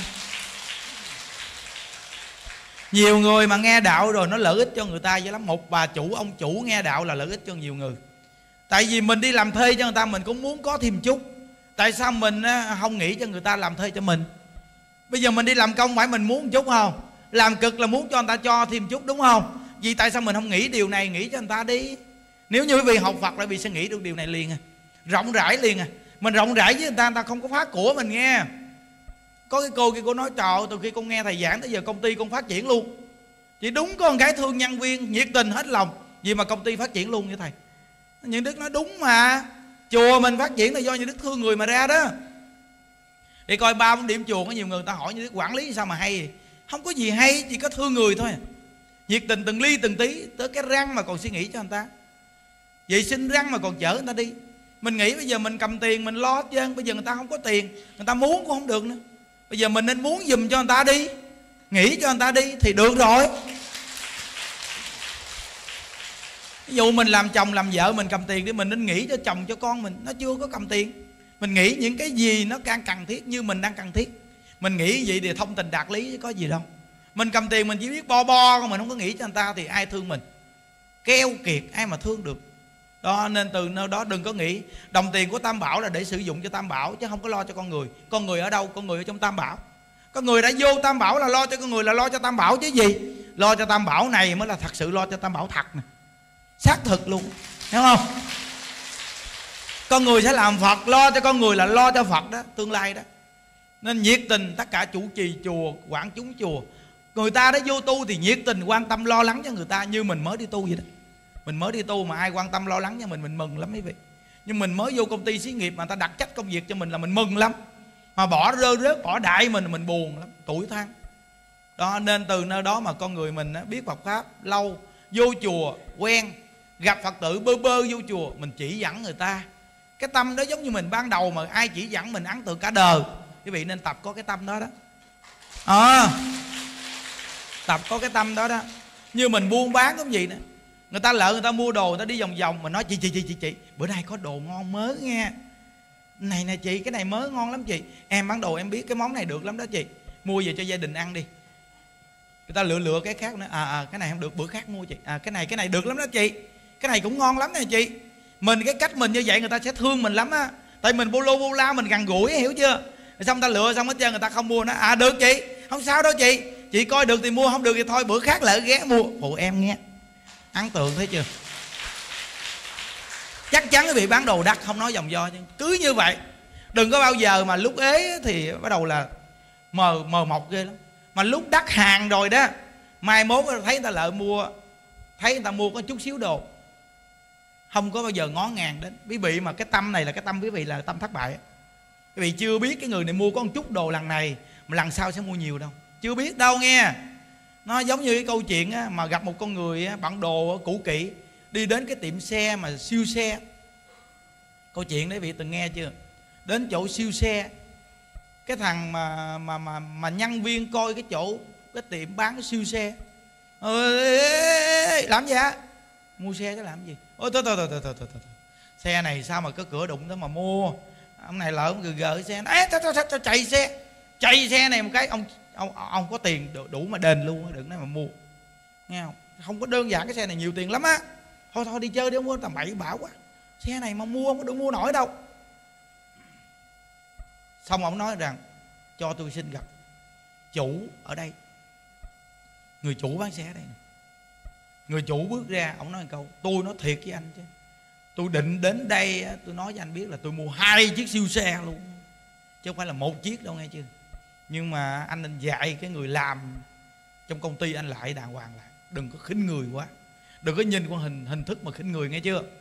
Được rồi, tôi không mua, tôi qua bên kia tôi mua hai chiếc xe cho thấy. Qua bên kia vớt hai chiếc xe, thằng này bị đuổi việc luôn. Ghê không? Kinh khủng không? Đó là người thế gian đó nó quý vị không? Học được một bài học chưa? Những đức ở trong chùa nè, rõ ràng luôn nè. Hồi xưa những đức mới xuống chùa hộ pháp á, có những khi quý vị biết rằng những đức hết tiền á nhiều bà già đến mà mình thường an tâm chúng thôi. Cứ nói, cụ yên tâm đi, tiền giữ trong túi. Lúc mình chưa có nên kêu ta giữ tiền trong túi. Lúc mình có tiền mình kêu ta xả tiền đi. Tại vì mình không có tiền mình kêu ta xả tiền đi, lỡ mình không có lấy gì người ta là sống. Nên lúc mình không có tiền kêu ta giữ tiền. Lúc mình có tiền kêu ta xả tiền nguyên lý là mình có khả năng lo cho người ta nên mình tự tin. Nên kêu ta xả đi, tôi lo cho. Tự tin rồi. Còn lúc chưa chưa tự tin gì mấy. Chị không có tiền. Mới xuống chùa có tiền đâu. Hô nữa. Ông về ông nhách cái mặt thấy gớm. Nhìn thấy còi cọc. Chùa thì mới xuống, bóng đèn chút xíu, đen thui, tối hù. Thấy thê thảm lắm quý vị. Kêu mấy bà già giữ tiền đi. Giữ tiền hết đi, không cần lo. Mấy bà giữ tiền để tôi lo cho, mà thật sự cũng run có tiền đâu lo có nhiều ăn nhiều bữa nay ăn bữa nay ngày mai tính sao? Gan thấy ghê thiệt bởi vì mình là đúng là từng trải đời nên nó gan. Gan thiệt quý vị mà tin phật nữa tin phật nó mới gan. Thì quý vị biết rằng là nhiều bà già đến gặp mình nói nói chuyện với chú chơi chú coi nó dạ ngồi chơi bà cụ con đang rảnh nè có gì không bà cụ? Nói chuyện chơi bình thường chứ gặp mình như người ta nói thôi, có chuyện bận lắm à.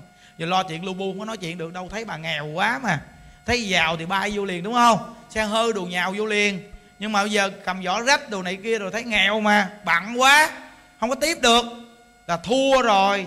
Nhưng mà nói dạ con có, có thời gian bà cụ. Có gì bà cụ? À, ngồi chơi ngồi chơi ngồi chơi rảnh mà. Bà đâu hỏi han nói chuyện này chuyện kia lý lẽ. Đạo pháp rồi nói với bà nói một chút xong. Nó nói để cúng dường cho một số cho chú để à, lo việc trong chùa. Nói thôi bà cụ ơi bà, bà, bà có chút đỉnh mà để dành đi con thì cũng còn sống được. Và cứ để tiền và lo lớn tuổi để dành sống đi. Nó không sao. Còn nó, nó, nó, bà, bà, cụ bà làm gì bà nói làm gì kệ tôi. Nó chào chào, già là sao ghê trời. Ờ, cúng hả? Đem ra một cọc nó cọc bự tiền. Mình trong bụng mình nói chắc tiền lẻ. Mà trong bụng mình nói chơi chơi nhưng mà mình nói chắc là tiền lẻ thôi tại vì thấy. Bà cụ bà cũng à, bèo nhèo quá cầm vỏ rách đồ gì chắc. Đâu mà nguyên cọc tiền chẳng chắc là giấy ngàn hai ngàn đồ nguyên cọc, chắc cũng điếm được chịu mấy. Hiểu không? Mình nghĩ vậy á, thôi kệ đi. Bà quyết định bà cúng thì mình nhận thôi. Thôi mình cầm cái cọc tiền mình đưa cho mấy chú, nó cầm lên trên coi điếm tiền. Để chiều nay mua vài miếng đậu hũ. Đúng không? Lên mấy chú cũng dạch ra chờ chờ toàn giấy 500 ngàn khóc. Kinh khủng thiệt chứ. Mà không phải một lần đâu, mà nhiều lần lắm. Mà toàn là già ở đâu mà trên trời dưới đất gì xuống mình cũng không biết thấy chưa? Nếu mà khinh người thì mình thua rồi. Khinh người là mình đâu có cơ hội đó đâu. Thấy không? Nên những đức muốn khuyên quý vị, học đạo đừng nên dội vàng khinh người ta nghe. Đừng có nói những điều người ta đơn giản hoặc là nhìn người ta bình thường mà khinh người ta coi chừng đó. Chứ không phải chuyện giỡn đâu. Nó có những cái bản thân con người mình đừng dội vàng khinh người khác. Và đừng dội vàng coi người khác là người thiếu trình độ. Đừng nên có những ý nghĩ đó coi chừng mình sai lầm đó. Có những cái trình độ mà quý vị nhìn thấy họ cao xa nhưng chưa chắc trong cuộc đời này họ là họ làm được những việc mà người ta còn thiếu trình độ làm được đâu. Nên đừng dội khinh người khác. Nhớ đó. À, bữa nay họ học được cái câu đừng dội khinh người khác. Tại vì sao? Khinh người là sẽ bị thiệt thòi đó. Cho mà biết đó coi chừng thiệt thòi đó. Trong cuộc đời như đức làm được bao nhiêu chuyện này toàn là do không dám khinh người. Mà ra đó có nhiều người như đức nuôi chúng á đâu phải là giàu sang gì đem tiền đưa những đức đâu nhưng đức nói vị, những đức mà chờ giàu sang là những đức ngóng mỏ nhọn quét, chết queo luôn. Có những người phật tử quen những đức thăng mà giàu thấy ghê. Có khi một năm chờ ta mới đến lần thì những đức cũng khô máu à, héo hon à. nhưng mà mấy bà già sĩ cầu que mới đi về chùa. Vậy đó mà bà đồng cắt, bà đưa những đức vậy mà những đức nuôi bả rồi nuôi chùa. Vì coi kinh khủng không?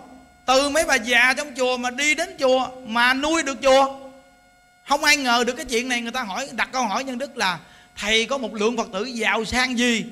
Này, không có nha. Toàn là quen thì giàu sang gì, nhà cửa người ta những đức không biết.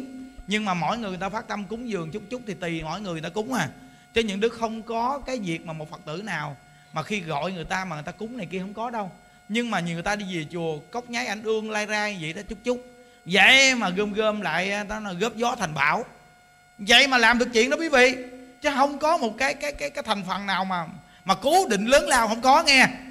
Mà nếu những đức mà dính một thành phần nào lớn lao cố định là những đức phải chịu. Đi theo người ta hoặc có chuyện người ta kêu phải đi. Còn cái này những đức toàn là chung chung không à. Gì không nè nhưng mà góp gió thành bảo người đồng cắt về chùa thấy thương thầy tội nghiệp thầy nuôi người già. Mà người ta bỏ đồng cắt vậy mà làm hoài qua năm suốt tháng. À, thấy được chưa? Mười mấy mười năm rồi. Giỡn đâu vậy mà làm được chuyện đó. Đó vậy đó mà từ từ từ rồi những người đó ta thịnh vượng. Gia đạo càng ngày càng thịnh lên ngộ ghê á. Người dính vô chùa mình là càng ngày gia đạo càng tốt và nó thịnh thịnh, thịnh lên từ từ. Thì đó là cái điều mà người ta thấy rằng cuộc đời người ta đi tu người ta nghe đạo người ta thấy tốt. Gia đạo tốt rồi chồng con từ từ biết tu hết chưa từ đó mà cảm ơn ngôi tam bảo mà người ta phát tâm. Thấy rõ ràng chưa? Nó nên những đức mong rằng tất cả những người mà nghe đạo làm chủ trì chùa nên nhiệt tình đem một cái đạo lý nho nhỏ của mình biết được. Nói cho người ta nghe đi. Từ một cái đạo lý nhỏ, từ từ thành đạo lý lớn à. Chứ đừng bao giờ cho rằng đạo lý mình nhỏ quá, không nói. Không nói nó mắc luôn. Nói nó sẽ càng phát ra. Giống như càng thí tài thì càng giàu, mà càng thí pháp thì thông minh.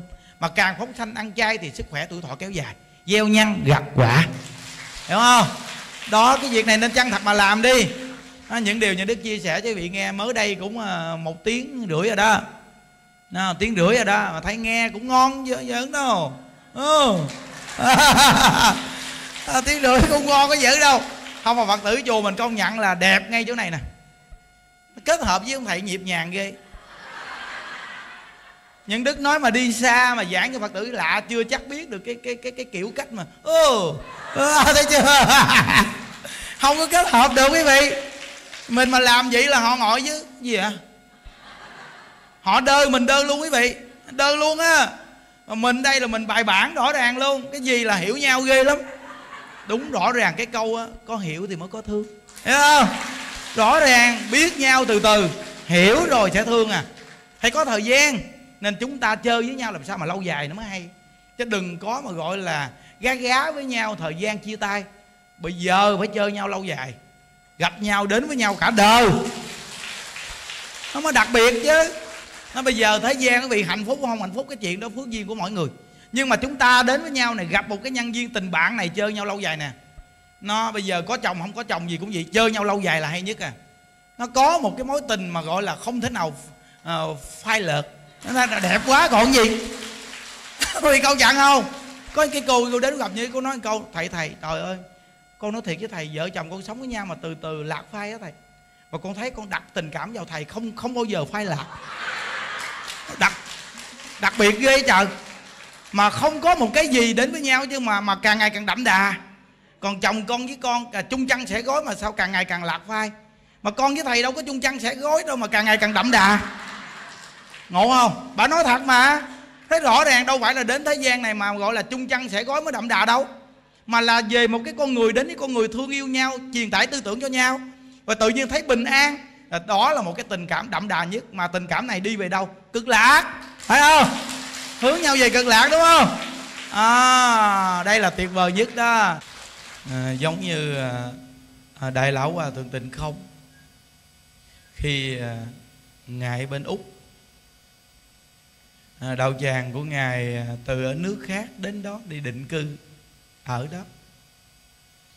À, tất cả những người trong đạo tràng của ngài phần nhiều lúc nào người ta cũng vui á.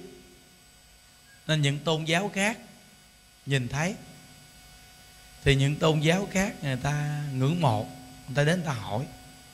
Chúng tôi thấy à, các người sao lúc nào cũng vui vẻ quá. À, các người làm cái gì mà vui nhiều như vậy? Thì ờ, lúc đó hòa thượng tịnh không người nói rằng là chúng tôi mỗi ngày học Phật pháp. Họ hỏi học Phật pháp là học như sao?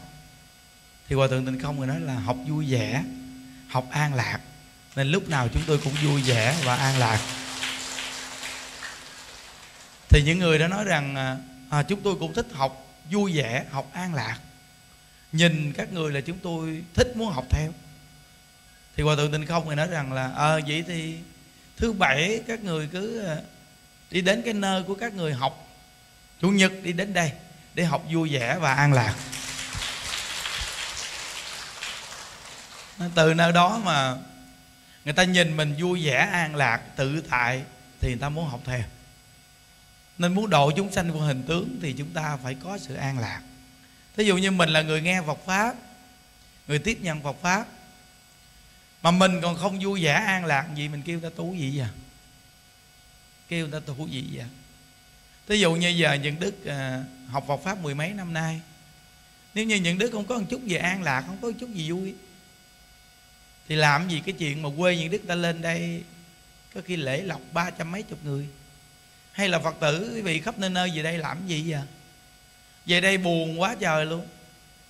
Mỗi lần gặp thầy là khóc hoặc là à, mỗi lần gặp ổng là ổng than thở tiền bạc. Mình ngoài đời đã kiếm tiền khó mà gặp ổng còn khổ hơn. Ừ, vậy mà nói phật pháp là có phước. Tôi có thấy cái gì có phước đâu. Nên từ nơi đó mà ta gặp mình, ta muốn không muốn học phật. Mà ta gặp mình, ta không muốn học phật, vậy cái hình tướng mình là diệt pháp.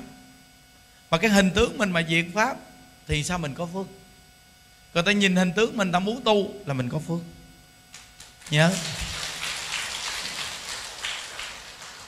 có nhiều người ngồi ở đây mà nghe chia sẻ Phật pháp mà được quay phim cũng có phước lớn. Tại vì sao? Vì thấy bị cười hoài.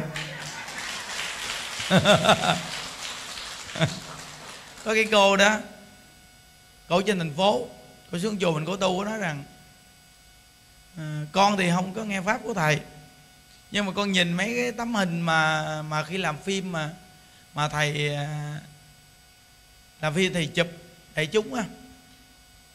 Con thấy cười nghiêng cười ngửa. Rồi để cái hình của thầy ờ, ngồi giảng cũng cười con lướt ngang qua con nhìn thấy thì sao mà phim ảnh này có hoài? Mà thấy cái hình của đại chúng ở dưới cười nghiêng cười ngửa. Này cái gì mà cười dữ cái chợ thì họ mới bấm vô. Thì bấm vô cổ coi thì cổ coi cổ cũng cười à, cuối cùng ờ, cổ coi luôn mình đến chùa mình tu luôn. Thấy không? Nên từ nơi đó mà ta nhìn mình vui vẻ thì ta thích vui vẻ. À trong cái cuộc đời này là gì đó quý vị. Niềm vui là chất dinh dưỡng cao cấp nhất. Nên quý vị từng nào thứ bảy chủ nhật cũng đến là do niềm vui mà đến. Nếu như không có niềm vui không bao giờ đến làm gì đâu. Nó thật sự luôn. Ngồi nóng. Bữa nay chờ mưa hồi, ờ, hồi tối cấp những đức đang giảng pháp cái cấp đó cũng khoảng cỡ ờ, năm giờ mấy, mưa. Mấy đám mưa đầu này, thời tiết bây giờ nó nóng quá, mưa xuống cái nó bốc lên, bốc hơi, nóng Đúng không? Nếu mà gặp mấy đám mưa đầu này mà mưa nhỏ quá là ưa bệnh lắm nhưng mà nhờ mấy đám mưa này cũng lớn, cũng được. Nhưng mà nó bốc hơi rất là nóng quý vị không? nếu như bây giờ mình ngồi đây mà mình không có sự an lạc cái chân mà nó nóng cái này thì cha chán chết được thôi, thứ bảy ở nhà ngủ vứt cho rồi, để đây làm gì? Hiểu không? Đó. Nên bây giờ quay phim mà tao gọi xuống, thấy quý vị á, nhiều người xa tao nói, ước gì tôi được đi đến đây. Nghĩa là ta coi những buổi giảng mình mà người ta cứ bình luận là, ước gì được đến một lần. Rất nhiều người người ta ước gì được đến một lần. Ta xa quá. Cái chuyện đi cũng không phải đơn giản. Vé máy bay này kia đồ tiền bạc đi cũng không đơn giản mình may mắn mình gần muốn đi mình đến mình đi tới đây. Nên mình đi đến được đây mình nghe nói có những người người ta ước được đến một lần. Tự nhiên trong lòng mình thấy mình sao mà mình hạnh phúc ghê? Tại mình được đến gần chùa này mình được đến hoài. Hoặc là gần gần đây sẹt đến cái tết. Vậy mà có những người sát bên đây người ta đem kiệu qua rước người ta, người ta cũng qua. À, đâu có đơn giản đâu đâu phải ai cũng có duyên đâu quý vị nói chuyện giỡn hả à, có thể giờ này người ta ngồi quán cà phê người ta nhịp chân chơi tán ngẫu tán dốc đồ chơi. Nên trong nhà Phật mới có câu nói rằng là cái duyên phước của một con người hướng thượng thì họ sẽ hướng thượng. Cái duyên phước của con người mà đi vào tiêu cực thì họ đi vào tiêu cực à. quý vị biết rằng nếu như chúng ta nghe đạo là càng ngày chúng ta càng mở rộng con đường ra. Còn con người chúng ta mà không nghe đạo là càng ngày càng thu hẹp con đường của mình đi lại đó một trăm phần trăm những đức thấy rằng là như bản thân những đức là bây giờ là càng ngày những đức càng mở rộng con đường mình ra nên những đức hỏi các anh em huynh đệ trong chùa những đức nói rằng là mình càng tu thì mình càng thương người hay mình càng tu mình càng ghét người nếu như mình càng tu mình càng ghét người ta là mình tu sai rồi đó mình càng tu mà tâm lượng mình càng thương người là đúng rồi đó nên mỗi người tu mình coi lại cái tâm mình coi mình càng tu mình càng thương người hay mình càng ghét người những đức thấy rằng những đức càng tu, những đức càng thương người nhiều lắm. Mà những đức thương quý phật tử nhiều. Tại vì sao? Vì mình nói chuyện mà người ta ngồi người ta nghe. Thì mình thương người ta nhiều chứ sao? Còn cái người nào mà không ngồi nghe mình thì mình ghét. Hiểu không? Chứ sao giờ? Ta ngồi ta nghe thì mình thương. Còn ta không nghe thì thôi chứ mình có ghét làm gì. Hiểu chưa? Nên từ nơi đó mà mình được cái duyên làm người mà mình được cái duyên hướng thượng. Mình được cái duyên nghe đạo, mình được cái duyên tu hành. Thật sự mà nói trong cuộc đời con người chỉ có ba buổi cơm thôi mà con người ta cứ lao đao lặng đặng hoài cả đời. Cái đau lao đau lặng đặng là gì? Cái gì? Ba buổi cơm. Bữa nay bữa cơm được đầy đủ thì mừng. Nhưng lo ngày mai biết được gì không? Nhưng ngày mai bữa cơm thiếu thì thấy buồn. Làm cực quá mà cơm ăn không được no. Đồ ăn không đầy đủ, thấy buồn. Ờ, có khi buồn chán vì gia đình của mình làm cực khổ mà sao nó thiếu thốn hoài. Nhà muốn mua cái tivi gì mới ra đó mà nó không có tiền mua. Hoặc là xe cộ gì muốn đổi mà không có tiền. Cứ là chạy theo vật chất. Nghĩa là cả đời của người ta vì vật chất, vì cuộc sống, vì cái ăn, cái uống, cái ở cuộc đời người cứ lao đao lặng đặng hoài. Mà mang cái thân này để mà mà mà muốn hưởng những thứ đó thôi. Nhưng mà cuối cùng thì con người ta thì ai cũng đến già và đến khi chết. Người ta nói chết là kết thúc của đời người còn sống thì sao? Không hưởng thụ. Sao mà kết thúc được? Nếu kết thúc vậy thì các bậc chí không ai đi tu làm gì. Thái tử tác đạt đa ngày làm vua chứ ngày đi vô trong rừng sâu ngày đi tu đạo làm chi vậy? Đó là bậc trí tuệ đó. Mà các ngài biết chết không có hết. Nên các ngài mới chọn con đường giải thoát. Ờ, như hồi sáng thì đức nói chuyện ở bên chùa bên kia thì đức nói, đi qua khu yếu nhìn thấy mấy bà già như bà cúc. Ở bên khu yếu. Bà ngồi bà ăn, gương mặt bà gì nữa quý vị, tuổi già nhiều lắm nghe quý vị giống như là ba hồn chính vía nó bay mắt đâu. Ngồi gì nè. Đút cơm vô miệng. Đút vô. Nhiều nhạo nhiều nhạo. Mấy cô kéo áo lên. Kéo áo lên câu chùi. Cái tiếp tục đút vô mặt gì nè. Vậy đó. À mình nhìn đi rồi mình thấy, ồ gì là tương lai mình cũng già vậy mà. Ai mà tránh cái tuổi già đâu, sớm muộn mình cũng vậy à ngồi ngắt ngơ ngắt ngéo như quý vị. Mấy cô đẩy ra ngoài nắng phơi nắng. Ví dụ đi ngồi ngoài nắng phơi nắng buổi sáng. Người ta đi ngang kêu bà cút vậy đó. Rồi khi đút cơm vô quý vị già đút cơm vô ngậm hoài vậy đó. Cái bà ngồi kế bên. À, bà nói nhai không nhai nuốt đi ngậm hoài. Bà già kế bên bà biết bà kia bà nói gì đó ngậm hoài tôi tán cái gớt cái mưa găng bây giờ. Mắc cừ thằng chết luôn. Vậy đó, thì mình nhìn thấy đúng là con người, cái quy luật tự nhiên rồi đến tuổi già. Vậy mà con người chúng ta, tuổi trẻ, mình không có biết chọn một con đường để mình đi đến một cái cái hạnh phúc, rồi đi đến giải thoát. Nên những đức nói rằng là mình nghe đạo, nếu mà mình thật sự mình hiểu thì mình sẽ thấy con đường nghe đạo của mình là càng đi thì càng mở rộng mà con đường thế gian á, càng đi thì càng hẹp. Đúng không? Thấy càng hẹp không? Ờ, tại vì sớm muộn cũng già dù giàu sang phú quý cỡ nào thì cũng già. Thì càng đi vô con đường này càng hẹp lại. Mình thấy có những người người ta có danh vọng ở xã hội địa vị. Khi người ta không làm cái việc mà có địa vị đó nữa thì người ta về hưu người ta lại nghỉ. Mấy vị thấy có những người, người ta buồn lắm. Tại vì lúc đương thời thì kẻ đó người đưa mà lúc hết thời thì đi sớm về trưa một mình nó buồn thiểu, buồn thiêu, không ai ngó ngàng đến. Không ai đến tìm mình để cái gì chứ. Lúc mình đương thờ người ta đến ta xin xỏ này kia, tùm lum. Mà lúc mình hết thờ thì tự nhiên mình nghĩ không ai ngó ngàng đến. Mà nếu như cái lúc đương thờ mà mình còn sống nó không đúng nữa. Mình làm không đàng hoàng vì tiền bạc vật chất mà bất chấp mọi thủ đoạn. Thì lúc mình hết thờ người ta còn coi rẻ mình. Bước ra kẻ chỉ tay, người chỉ chân. Người nói này, người nói nọ. Thấy không? Từ nơi đó mà mình thấy không? Viết cái buồn quá ở trong nhà luôn vì không có bạn, cùng thờ đi đến. Còn bước ra ngoài đường thì thấy người ta coi thường mình. Tự nhiên thấy tuổi già hẩm hiu. Hay chưa? Dù là có danh trong thế gian, có tiền trong thế gian, trong cái thờ khác nào đó. Nhưng mà dẫn đi vào con đường ờ, tiêu cực của cuộc đời. Đó, nên chúng ta nghe đạo, mình sống thiện, sống tốt, sống có ý nghĩa. Chúng ta lại gặp nhau trong cái cuộc đời này, hướng đạo tu hành thì biết càng về già sao thì những đức thấy người tu càng già càng có giá. Nhưng phải tu làm sao để cho càng già còn có giá thì coi lại cái tu của mình. Có những người những đức đã từng biết nè. Như thí dụ như hòa thượng mình bây giờ ngày càng già, ngày càng có giá. Nội mà bây giờ người ta mờ thỉnh ngày đi đến một cái nơi nào ngồi chứng minh thôi. Chỉ ngồi đó thôi một chút thì nếu mà người ta cúng dường cho hòa thượng phải cúng nhiều hơn tất cả người khác.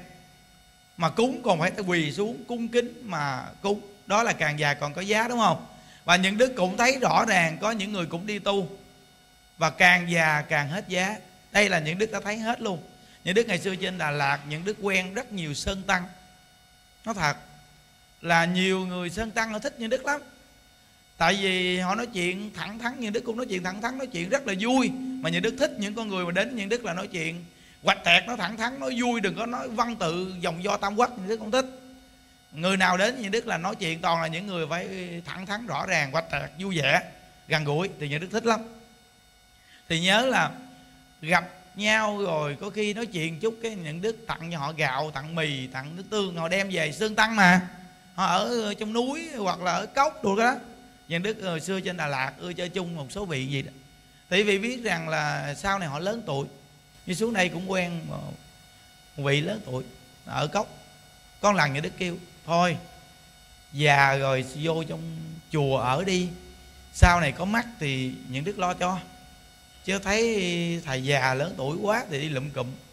Cứ lâu lâu ờ, hết mì này kia đến à, những đức đưa cho một miếng ăn nhưng mà thấy sợ đêm hôm á thầy mắc không ai lo thầy tội nghiệp ở cốc con mình.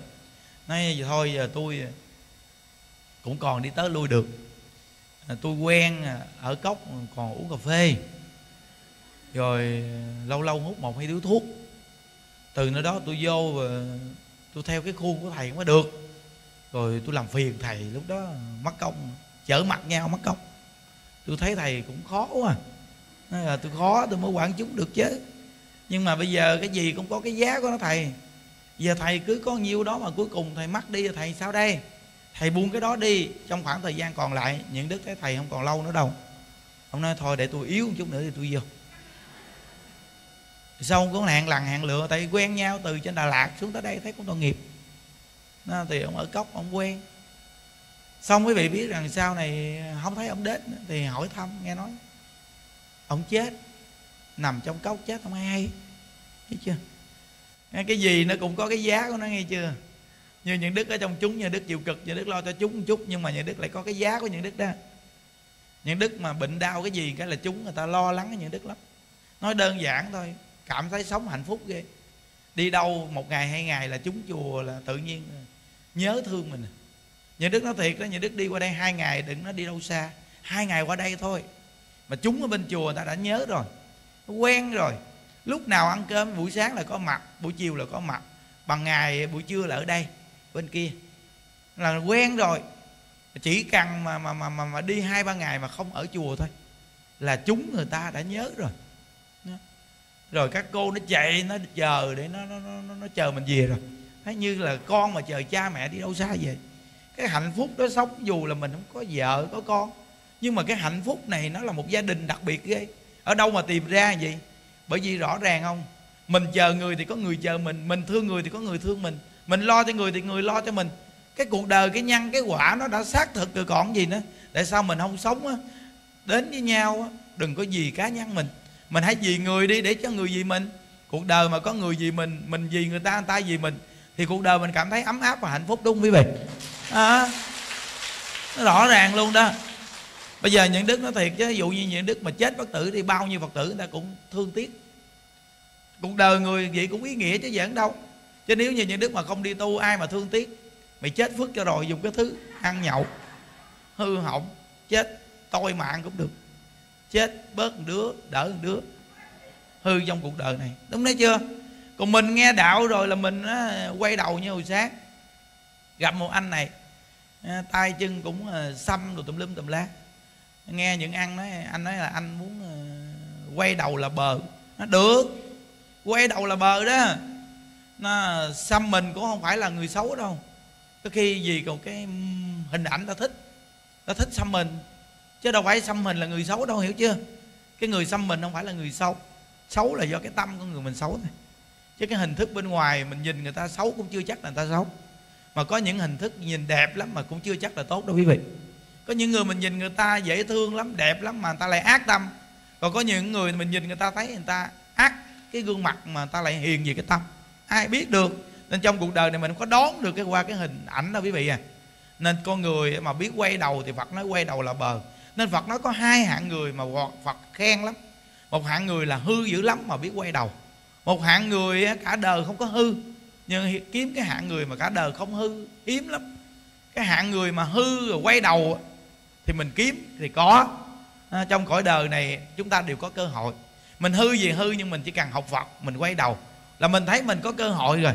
Nên Phật nói quay đầu là bờ là gì đó. Nha đó nó nên mình mà gặp Phật pháp là mình thấy mình đều có cơ hội hết trơn á. Mình có cơ hội sống tốt nè, như những đức cũng từng hư. Ờ, cũng từng hư mà bây giờ những đức ờ, cũng học Phật, cũng chia sẻ Phật pháp, ta nghe ào ào. Nó bây giờ trên mạng cũng đầy những buổi giảng hết trơn, vì sao? mấy chục ngàn người, trăm mấy chục ngàn người, hai trăm ngàn người có những buổi giảng ta có, đông vậy đó. Thì vị biết rằng là từ một con người hư hỏng mà quay đầu nhờ Phật pháp mà cho mình được sống gì, nên gọi là Phật pháp cứu đời tôi rõ ràng luôn vì thì mỗi người chúng ta gặp Phật pháp là đúng là Phật pháp cứu cuộc đời của mình. Mà lại mở rộng con đường mình ra càng đi càng tốt nữa chứ. Nên những đức nói mỗi một tôn giáo nào chúng ta cũng cần sống và nghe cái tốt chứ chúng ta đừng có chấp nặng rằng là chúng ta học cái cái tôn giáo đó rồi chúng ta không học những tôn giáo khác. Cái nào có cái hay thì chúng ta học à. Học đạo mà như vậy thì mới mở rộng con đường học đạo. Còn học đạo mà đi vào tiêu cực thì con đường mình sao mở rộng? Có người học đạo mà có người, cái tâm hẹp hòi thì không bao giờ học được bao nhiêu đâu dù cho mà là mình học phật giáo hay tôn giáo nào đi chăng nữa, thiên chúa sai giáo đi chăng nữa, cái gì mà hay thì mình cứ học à. Cái gì mình thấy nó vui, nó hay, nó tốt thì mình học. Nội mà những đức nói câu này không, chúng ta cũng cần học nữa. đừng có buồn người để trong tâm. Nói hoài luôn đó, mà mấy bà ngồi dưới còn buồn á. Cứ nói hoài đừng có buồn người để trong tâm đó. Vậy đó, mà đi về là nghe cái là không buồn. Mà về nhà buồn thì coi chỉ một câu vậy thôi đó mà làm dễ không? Chỉ một câu là đừng buồn người để trong tâm thôi đó mà dễ làm không biết liền à. Chỉ cần đừng buồn người để trong tâm là hình tướng vui liền à. Còn buồn người để trong tâm là hình tướng nó xấu liền à. Nó nên á, chùa mình bây giờ thứ bảy này nè cộng tu á, là tất cả tăng ni mà ngày chủ nhật đều qua đây hết. Cái nhà ăn mới á, những đức vừa vừa mua bằng inox rồi sắp xếp sẵn hết. Có một nhà ăn luôn quý vị thấy không? Tính đúng thời điểm luôn ghê thiệt chứ. Gì cũng phật sắp xếp. Bây giờ mà không tính, mai mốt mưa chưa tăng ni bên đó ăn cơm làm sao? Bên hộ pháp nhân chủ nhật đông quá vì nghỉ đi. Ngồi ăn cơm làm sao đây? Rồi chưa tăng chư ni thì mình cư sĩ, còn ngồi chỗ này ngồi chỗ kia. Chưa tăng chư ni mà tùm lum tùm la trên sau này, cái chuyện lu bu. Không hay. Rồi chen chút chặt chọi. Nên bây, bữa nay những đức ờ, chủ nhật ờ, bữa đó thông báo chứ. Bữa nay chưa tăng chư ni thứ bảy, từ hôm nay là đi qua đây hết. Là ở trên lầu trên lớp nhà. Nó qua đây hết. Rồi xong á bữa nay à, phát phiếu đều hết. Cứ 8 giờ 15 là giao cho những quan bên đây. Giao những quan coi sắp xếp bên chư tăng ni đàng hoàng. Hôm qua những đức chỉ hết trơn à. Giao những quan ở đây đó những quan sắp xếp.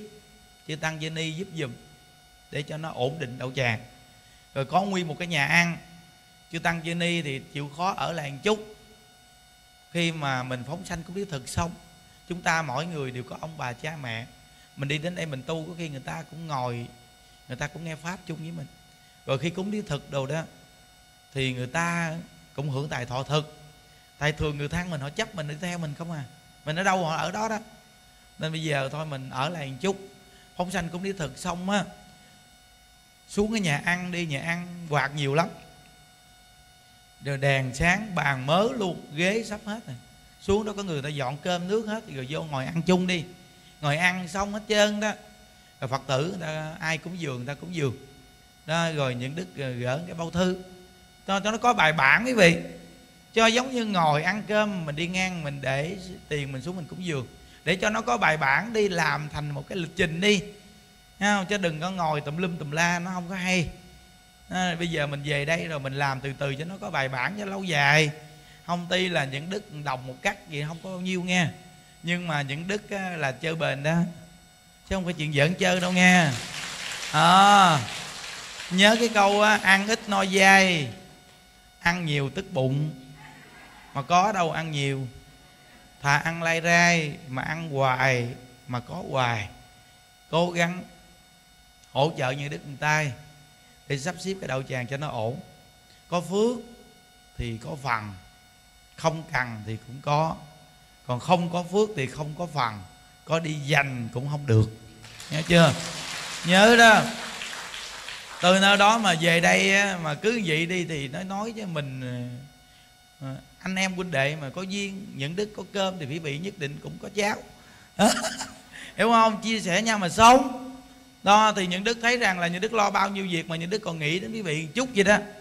Bây giờ qua tới đây những đức giao những quan sắp xếp thì coi giúp dùm mà hỗ trợ đạo tràng cho nó ổn định. Làm việc cho nó có bài bản đàng hoàng. Nó đeo phiếu đồ đâu vào đó. Để làm chi phải không? Để cho những người đến lúc 8 giờ 15 đeo phiếu.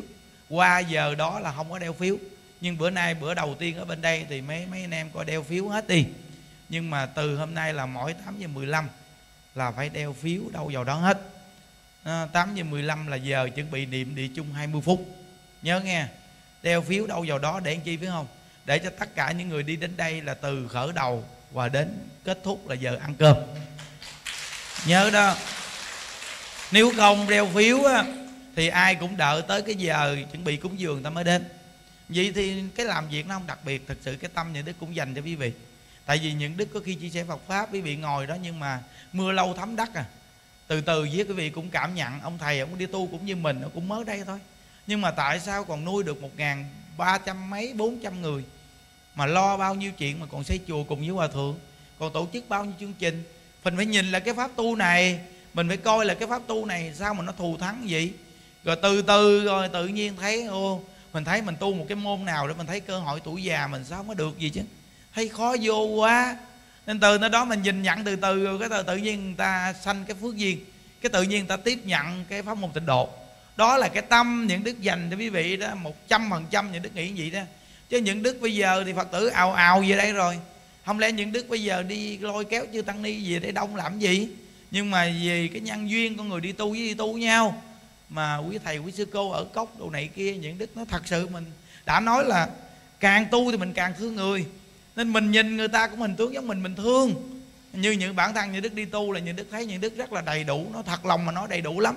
Cả chúng trong chùa những đức từ hàng cư sĩ mà ta còn đầy đủ kìa. Ta không cần phải bận tâm lo âu gì kìa, mà ta sao rất đầy đủ kìa. nên từ nơi đó mà cũng có những người đi tu, nhưng mà chúng ta lại thiếu. Nên đó là cái điều mà tấm lòng chúng ta đến với nhau. Đã là có tấm lòng thì chúng ta sẽ hưởng cái phước lâu dài. Mà muốn hưởng cái phước lâu dài là biết hộ trì với nhau để cho đạo tràng chúng ta thịnh vượng rồi bây giờ đi về đây những đức thấy quý vị vậy đó những đức cũng có một tấm lòng. Tuy một tấm lòng nho nhỏ nhưng quá nhiều con người nó thành ra một tấm lòng lớn lắm á. Nó không phải là nhỏ đâu nghe. Nó thật lòng á. À, quý vị coi thí dụ như bây giờ như bây giờ cộng tu thứ bảy với cái lượng người ở đây á. Nếu mà tất cả phật tử đi về đây cộng tu thứ bảy này mà bỏ vô thùng tam bảo cho hòa thượng nó thiệt chứ không có nhiêu tiền đó quý vị. Cao tay lắm được chừng hai chục triệu ba chục triệu dữ lắm mà đó là cộng tu thứ bảy. Người ta chút chút ta bỏ vô. Mà những đức mà cúng dường chưa tăng ni là tính ra hơn trăm triệu thì quý vị biết rằng cái tấm lòng những đức dành cho quý vị vậy thì cỡ nào? Đó là những đức nói tặng đáy lòng mình đừng có nói nhiều, nói ít gì chứ nội mà cái việc làm đó thôi thì nó đã quá nhiệt tình hết mình với mình rồi. Tuy nó có một chút một chút nhưng do nó quá đông. Nó một người như đức bỏ vô tư hai trăm rưỡi chục ngàn, nhưng mà đông lắm, đâu có giỡn đâu. Quý vị thấy khi mà người ta xếp bát cúng dường không? Ngàn, hai ngàn, năm ngàn chút chút chút chút không? Đi gom lại đông người chứ không được bao nhiêu. Nhưng mà cái tấm lòng những đức nghĩ rằng giữa con người đến với con người, cùng là những người đi tu với nhau quý vị à mình có cơm mong họ có cháo, sống với nhau, cũng chia như sớt nhau mà sống trong cuộc đời này. Vì cuộc đời hiện tại nó đang khó khăn quá. Cái chuyện mà sống bên ngoài bây giờ cũng gì làm ăn đâu có dễ đâu. Nhiều người ngày xưa người ta giàu quá trời luôn, bất động sản rồi buôn bán giàu quá trời, bây giờ đứng hình. Bây giờ nhà cửa người ta mà nhiều người người ta muốn đi vô chùa tu người ta muốn cúng dường tiền bạc mà người ta muốn bán của, bán không được luôn. Nhiều người ta nói bán không được luôn, quý vị đứng luôn á. Thì vì biết cái kinh tế bây giờ khó khăn vậy mà mấy người ta đi cúng dường nữa. Nên cái việc khổ là khổ cả chùm trong cái cõi đời này. Nó sung sướng, nó đầy đủ, thì đầy đủ hết trơn. Mà nó mà khổ là nó khổ cả nhóm hết trơn đó. Nhưng mà ngôi chùa mình là đúng quá phước báo. Cái chuyện mà nó kết duyên cho chúng sanh khắp nơi nơi, người ta lợi ích. Cái tình cảm mà người ta về đây mà thấy chúng của mình quá nhiệt tình lo cho người ta mà khắp nơi nơi mà người ta nhìn đó mà người ta thấy thương mình. Thấy mình quá nhiệt tình rồi. Cực lực nuôi các cụ già. Tuy là thờ thế khó khăn mà cứ động viên các cụ già về chùa. Mà ở đây càng ngày càng phát triển, càng ngày càng đông hơn 400 người. Quý vị coi người già bây giờ ở đây càng ngày càng đông. Hai dãy nhà này bốn cái cái cái thang máy sắp sửa xong. Là bắt đầu là hoạt động bốn cái dãy, hai cái dãy nhà này. Rồi tiếp tục quý vị coi ba, bốn dãy nhà đang xây dựng bên đây quý vị coi. Rồi tuốt ngoài cổng chùa chuẩn bị móc móc bao nhiêu chuyện làm đâu có đơn giản đâu quý vị. À, vì nhìn ngoài cổng chùa phải là chuẩn bị móc móng hay không? Cái nhà cái cái cái xăng ngoài kia ngoài đang đang chán nền rồi đó. Rồi mấy dãy nhà mới này xây sắp sửa xong mưa dài đám đổ nền nè đổ nền hết nè bê tông đổ sạch hết luôn đó. Rồi chùa chiền mọc lên đèn đuốc bắt xanh quanh chùa như thành phố vậy đó. Để cho người già này ở. Bữa đó có cái ông đó mà ổng là À, bác sĩ ở bệnh viện thành phố lớn gì đó. Mà ông vô chùa mà ông cầm máy phim lên quay một công đoạn. Mà ông nêu một công đoạn nói rằng chợ chỗ ở nuôi người già mà còn hơn là bệnh viện lớn nữa. Quá cao cấp. Ông nói vậy đó. Mà ông quay một công đoạn ngắn thôi mà chỉ có hai ba ngày mà ta coi hơn một triệu người. Quý vị biết rằng ta, ta nhìn thấy cái cảnh quan mà nuôi người già vậy đâu mà cái quy mô nó kinh quá. Những đức nói trong cuộc đời hòa thượng mà xây chùa mà những đức có duyên nuôi người già gì? Những đức thấy rằng là cuộc đời mình đến khi mình chết thì mình đứng mình cười cái mình chết. Quá mãn nguyện cái cuộc đời của người mình đến cái cuộc đời này còn gì. Coi đi. Nên những đức nói à phật tử mình về đây mình ngồi đang đây gì? Quý tăng ni mà ngồi đây gì? Đây là cái sự hộ trì cho tam bảo lớn lắm. Thật sự mà nói bây giờ tam bảo thì cũng là tam bảo đâu phải tam bảo nào cũng thịnh đâu. Nó, chùa là tổ ấm ta về. Tổ ấm là gì? Là thương nhau á. Chung tay xây đắp chẳng nề hà chi là nhiệt tình mà mình người có công có cửa để mà chung tay xây đắp. Chẳng nề hà chi, công phu, công quả hộ trì, mình công phu là tu hành. Công quả là nhiệt tình làm những việc gì mình phụ trợ được. Khi mà công phu, công quả, nhiệt tình, rồi già lam hơn thịnh, phước gì lớn hơn? Hơn thịnh nè. Già lam là ngôi chùa hơn thịnh, phước gì lớn hơn là nhiều người được nghe pháp tu. Nó chùa nó có cái pháp tu, rồi nghe được cái sự bình an trong cuộc đời mình dù giàu, nghèo, đẹp, xấu cũng cảm thấy bình an trong cái cuộc đời mình. Đâu phải con người chỉ có giàu, đẹp nó mới bình an đâu. Mà cái xấu nghe Phật pháp cũng bình an nữa. Mình xấu, mình lùng mình lé, mình hô. Mà mình nghe Phật pháp rồi mình đoạn đi cái tâm lùng lé hô đó đó. Con người khổ đau từ cái lùng lé hô là cái tâm khổ á. Mà Phật pháp nó nó sấy vào tâm quý vị. Nó xóa tan cái tâm lùng lé hô đó đó. Những đức nói quý vị nghe, con người phát xuất cái khổ là từ tâm mà ra không bị kiểm đi. Ác là từ tâm mà ra không tất cả thiện tâm, ác tâm đều do từ tâm mà sanh. Nên con người chúng ta mà học đạo là phát từ tâm mà học. Đã học Phật hiểu nhân quả rồi. Tự nhiên mình thấy rằng cuộc đời của người mình hạnh phúc quá, trời hạnh phúc luôn. Tại vì sao? Vì mình thấy rằng là mình quá ý nghĩa. Mình sống và cuối đời mình lại có con đường đi về. Mà lâu lâu rảnh thì cứ sắp xếp đi đến chùa. Như lễ còn mấy ngày đó nay mùng 4 còn 6 ngày nữa tới lễ nữa, ba ngày liên tục luôn. Vì coi, ba ngày liên tục lễ năm ngày mà chúng ta tổ chức ba ngày đó đó từ thứ bảy chủ nhật thứ hai là ba cái ngày chính nhất đó. Còn hai ngày mà lễ nghỉ bù thì một là vì ở nhà với gia đình còn hai là cứ ở chùa cộng tu. Tính sao phù hợp đó là tính. Đó thì những đức với họ bữa đó nói là bữa bữa sáng á là chúng ta tổ chức chính nha. Là ngày dỗ tổ hùng dương đám, đám dỗ của toàn thể. À, ông bà tổ tiên chúng ta tập thể luôn bữa đó có ghi cầu an, cầu siêu, cứ kệ, mình cứ ghi đi, những đức nghĩ cái này tốt quý vị. Cái một tâm tốt nhỏ cũng đừng bỏ. Một cái tâm ác nhỏ cũng đừng làm. Từ nơi đó mà cái tâm thiện nhỏ cũng nên làm đi. Để cho ông bà tổ tiên mình có cái tên trong ngôi tam bảo, có cái duyên ở trong chùa. Rồi buổi chiều á, những đức nghĩ rằng chúng ta nên cộng tu bên hộ pháp luôn đi. Thì ngày dỗ tổ hùng dương để cho nó được ngày luôn đi quý vị. Ừ. Làm thì làm, tới luôn đi chứ bây giờ có một buổi sáng buổi chiều nghỉ những đức cũng thấy thấy buồn cái miệng. Thấy chưa? À, buổi sáng là mình qua tu đây rồi buổi chiều mình qua bên hộ pháp. Mình cộng tu buổi chiều bên đó phóng sanh cúng lý thực luôn cả ngày đó cho nó ý nghĩa. Hai bên chùa luôn. À, rồi ai ở lại được thì ở lại luôn rồi tối lớp đạo làm con rồi sáng mai chủ nhật cộng tu. Tỷ vị. Nhưng mà về về sáng mai chủ nhật đến cũng được tính sao thấy phù hợp nhất thôi. Nó cứ lao đi tu đi. Nó, nó, đi tu là tu phước tu duyên cứ lao đi tu đi là hay nhất à. Nó các đoàn xe đó phát động chương trình lên. Ở Vũng Tàu, Đồng Nai, thành phố ở Bạc Liêu, Sóc Trăng gì đó. Cứ đưa lên cái danh sách. Các vị trưởng đoàn khắp nơi nơi nên gỡ cái địa chỉ danh sách qua. Để cho chùa mình đưa lên cái cái bộ danh sách của các tỉnh thành những đoàn xe đi tên gì tên gì và Trần Thị Án gì đó đưa lên. Hiểu chưa?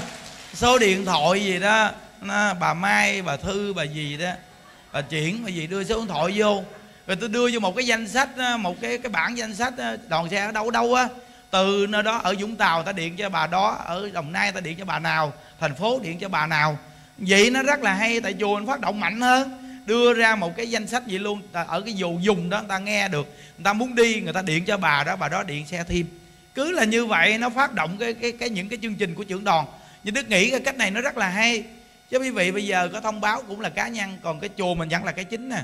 Nên mỗi một á, buổi giảng như đức ở phía sau nhân đức để cái bộ danh sách mà của tất cả tên trưởng đoàn vô cái cái cái phía sau buổi giảng. Khi người ta coi xong á, là hoặc là nó chạy cái hàng chữ đang nghe pháp á là tên trưởng đoàn ở ở vùng nào vùng nào sao sao? Ai muốn đi cộng tu thì cứ điện cho người đó là rước ở chỗ nào chỗ nào. Ta chỉ cho. Vậy thì từ từ tất cả các trưởng đoàn phát động cái chương trình mà dẫn người ta đi tu. Mà người ta cũng bỏ tiền ra thôi nhưng mà mình lại có cái công là mình uh, hướng dẫn người ta. Rồi mình thuê xe. Rồi bắt đầu là người ta lên xe rồi mình làm trưởng đoàn mình dẫn đi tu. Cách này phát động mạnh nhất quý vị. Đúng không? À, hôm qua gặp với cô cái cô kia là cô, cô sòn cô ở bên mỹ về cô này cô cũng kết duyên nhiều chùa dữ lắm nha cô thì không có chồng con nhưng mà có tự nhiên cô phát tâm cô làm tự nhiên có thằng con nuôi kết hợp với cô ngộ ghê. Cô nói là rằng là à, lễ vía 4 ngày 19 tháng 6 cổ dẫn một ngàn người đi. Dẫn một ngàn người quý vị. À, cổ nói rằng là một ngàn người là hơn 400 triệu. Đặt máy nghe pháp luôn là khoảng hơn 500 là là, là hơn một là một ngàn người có dẫn hơn dẫn một ngàn người đi tục. Nói vì quý vị biết rằng là cái chương trình đó, mình đưa lên cô nói rằng là con con thích thầy đưa lên chương trình gì con cũng muốn làm chứ. Nhưng mà bây giờ thầy, thầy biết rằng là đất đai bây giờ nó đứng lên hết trơn rồi thầy. Với tuổi tác của con bây giờ con nghĩ con con muốn gì Việt Nam sống. Nhưng mà bây giờ nó đứng lên hết rồi. Con mà phát triển được là con nói thiệt chứ con hỗ trợ với thầy xây chùa hết trơn.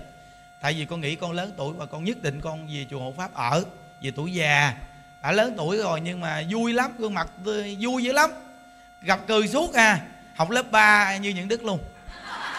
À, thịt hạt vui vẻ dữ lắm. Cười hú hí tối ngày gặp là nói chuyện thịt hạt cười hoài vậy đó.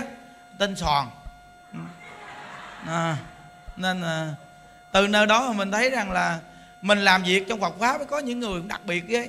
Mà những đức thấy rằng chùa mình tất cả trưởng đoàn ai mà biết những đức toàn là những người bình dân không à chứ những người cao xa thì không có thăng những đức nhiều. Nhưng mà những người biết như đức ta, đa phần là những người đơn giản, bình dị. Nhưng mà cuộc đời vì suy nghĩ đi đơn giản, bình dị là hạnh phúc đó nghe. Những đức thấy rõ ràng rồi đó. Mình đơn giản, bình dị trong cái sống, cái ăn, cái ở của mình là mình sẽ hạnh phúc à. Nên nguyện tam bảo gia hộ cho quý vị. Chúng ta gặp Phật pháp, gặp pháp môn tịnh độ. Cả đời niệm Phật, không ai dao động được tâm mình để bỏ tịnh độ. Và cuối đời chúng ta đều hẹn gặp nhau tây phương cực lạc nha. Ai về đầu rồi? Nguyện à, đem à, công à, đức này. Hướng về khắp tất cả đệ tử và chúng sanh. Đồng sanh về tịnh độ.